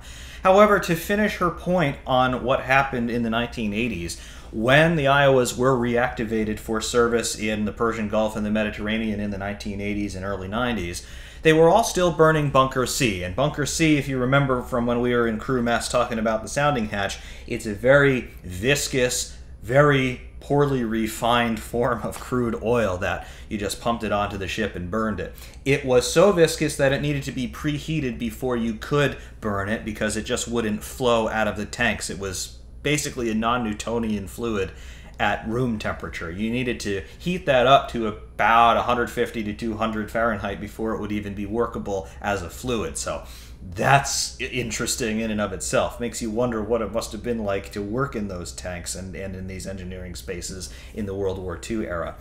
However, in the 1980s, there was a complete overhaul of the power plant on all of the Iowas. It's all the same original hardware that the ships were built with the same boilers, the same gearboxes, the same turbines. However, the fuel source was changed from bunker C to marine diesel. So, this required a retooling and retuning of most of the fuel handling systems because now it doesn't have to handle fuel at high temperature. Now it can just pump the fuel around at room temperature. So a lot of the steam heat radiators and things that would have been running through the fuel tanks were deactivated because they were no longer needed. But also, the entire engineering plant from a combustion perspective needed to be retuned and reorganized because the diesel obviously has different combustion characteristics to the bunker C, meaning that you won't be able to get maximum performance out of your power plant if you simply switch over from bunker C to burning diesel without making any sort of adjustments whatsoever. You're going to get inefficiencies, you're going to get incomplete combustion, and ultimately you're going to lose performance. So it took an awfully long time for the engineering teams, first on New Jersey and then later on on Iowa, coming back next, and then of course Missouri and Wisconsin followed. Wisconsin, the last of the Iowas to be reactivated it took them a long time to figure out how to tune the plant so that you could get the most out of the fuel, but also so that you could maintain efficiency in terms of not burning too much fuel too quickly, not putting out too much smoke, because again, smoke was a concern back in the World War II era as well as in the 80s when these ships were back, to the point where there are periscopes in the engine room overlooking the tops of the funnel so that you could see the color of your smoke. If it's too dark, you might as well broadcast your position to the enemy. So lots of thinking went into how to tune the fuel air mixture and how to make sure that when the engines are demanding more load from the boilers, when you ramp up the amount of fuel that you're injecting, how does that change with the stoichiometric ratio, with the air intake, and all of that kind of thing. So there was a lot of thought and a lot of testing that went into making these ships more tenable to operate in the 1980s, but they really managed, and it was in the 1980s that the ultimate speed record for the Iowa class battleships was set. New Jersey likes to claim that she has the record of being the fastest battleship in history, of being able to hit about 35 knots. However, there are some other sources that claim that other ships, particularly Iowa, actually exceeded that speed, being able to reach maybe as high as 37 knots for a brief period during a full power run. This comes from Captain Larry Seaquist, who was commanding officer of Iowa in the 1980s. You may have seen an interview with him with the great naval historian Drach also here on YouTube. He claims that Iowa hit 37 knots. Was he exaggerating? Maybe a little bit. However, I think it's totally possible because these ships had beautiful hull designs, very hydrodynamically efficient, and of course, the power plants driving four shafts at 212,000 combined horsepower. All things are possible, even with a ship which, by the time the 80s rolled around at full load, is displacing over 57,000 tons what you're seeing here in this image, this is the turbine casing for number four main engine. This is not the turbine itself, but this is the gearbox attached to the back of the turbine. You will see in the lower part of the image, at the lower part of the casing, you see these two round structures with handles and padlocks on them. Those are your access hatches to get in there and service the gear reduction box. Physically, the gears are behind those covers. They have padlocks on them because when the ship was in service, and even still today, this is an incredibly sensitive piece of equipment. First of all, it means that if something happens to this gearbox, you're going to lose the number four main engine, so you're losing 25% of your propulsion. However, if any sort of debris falls into this gearbox casing, the gears are finished to such fine tolerances that if you drop a coin if you drop even a piece of fabric in there, you run the risk of chewing up all of the gears in there and rendering the entire plant unusable. When maintenance needed to be conducted on these ships when they were in service, no work would happen inside these gearbox casings without armed Marine Corps guard present and without whoever was responsible for going inside these casings basically stripping out of all of their clothes and just putting on a onesie because they could not run the risk of having any debris fall in there. Any tools were signed in and out, and that was verified by armed guard because anything left in there could literally destroy the ship, render it pretty much inoperable. And that remains true today. The museum recently found the keys to those padlocks, so they can open the gearbox casing if they want. However, because it is still such sensitive equipment built to such insane tolerances, and because if there were any permanent damage done to any significant part of the engineering plant on this ship, it would require having to rip the ship open to get any of these large components out and because although it is an incredibly slim chance, but there is still a non zero chance of this ship or any of the other Iowas being recalled into service once again in the case of extreme emergency. All of these systems need to remain preserved and pristine, just as the Navy left them, so you will never see the inside of this gearbox casing on your own. However, the museum has shown pictures of the inside of this particular gearbox casing on a couple of YouTube videos just to demonstrate what's in there, but then they seal it up again and they will probably never open it again because, well, it is so sensitive. Leaving the very bottom of the ship, when you're in the engine room, you are actually below the waterline even today, and it's surprisingly hot down there. I'd expected it to be a bit cooler because there's obviously no engine room activity going on these days, but still pretty hot down there. However, Eventually, you come back up to the main deck on the fantail, where, like all good things, your tour of the USS New Jersey eventually comes to an end. The tour route, there are three different paths that you can take along the self guided tour. You have seen selections from all of them here today.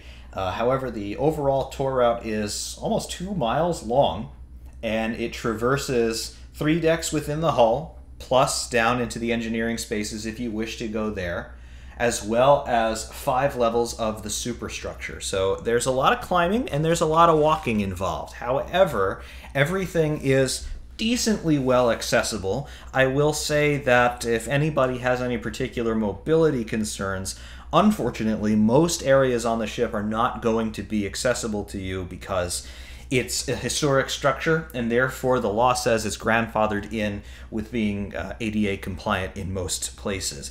Any museum alterations to the ship do have to be ADA compliant. However, most of the ship remains as she was as last active in the 1980s. So it's not the easiest thing in the world to get around, but you most of the time will have very little issue, although some of the ladders are a bit on the steeper side. So just be careful and mind your head no matter where you go. However, here, leaving the ship now on the fantail just adjacent to turret 3 on the starboard side. Remember, we got on the ship via the main deck on the forecastle all the way up forward, but here we go, leaving the battleship. A very nice day aboard, and I've got to say, once again, incredibly impressed by everything that the Battleship New Jersey Museum and Memorial do to preserve this ship and to present her as well as they do present her because this is an enormous ship as she sits here today, about 45,000 tons, 887 feet long, 108 feet wide. She's big. She's a huge space and she's all steel for the most part. So always you're going to be dealing with corrosion. Always you're going to be dealing with water ingress in places where you shouldn't have water ingress. And of course, you're always going to have to pay bills as well. All of the mess of cabling going in to power the ship today, it cost the museum $10,000 per day to keep this battleship afloat on the Delaware River just as she is now as a mostly inert object. Imagine how expensive it is to run this ship.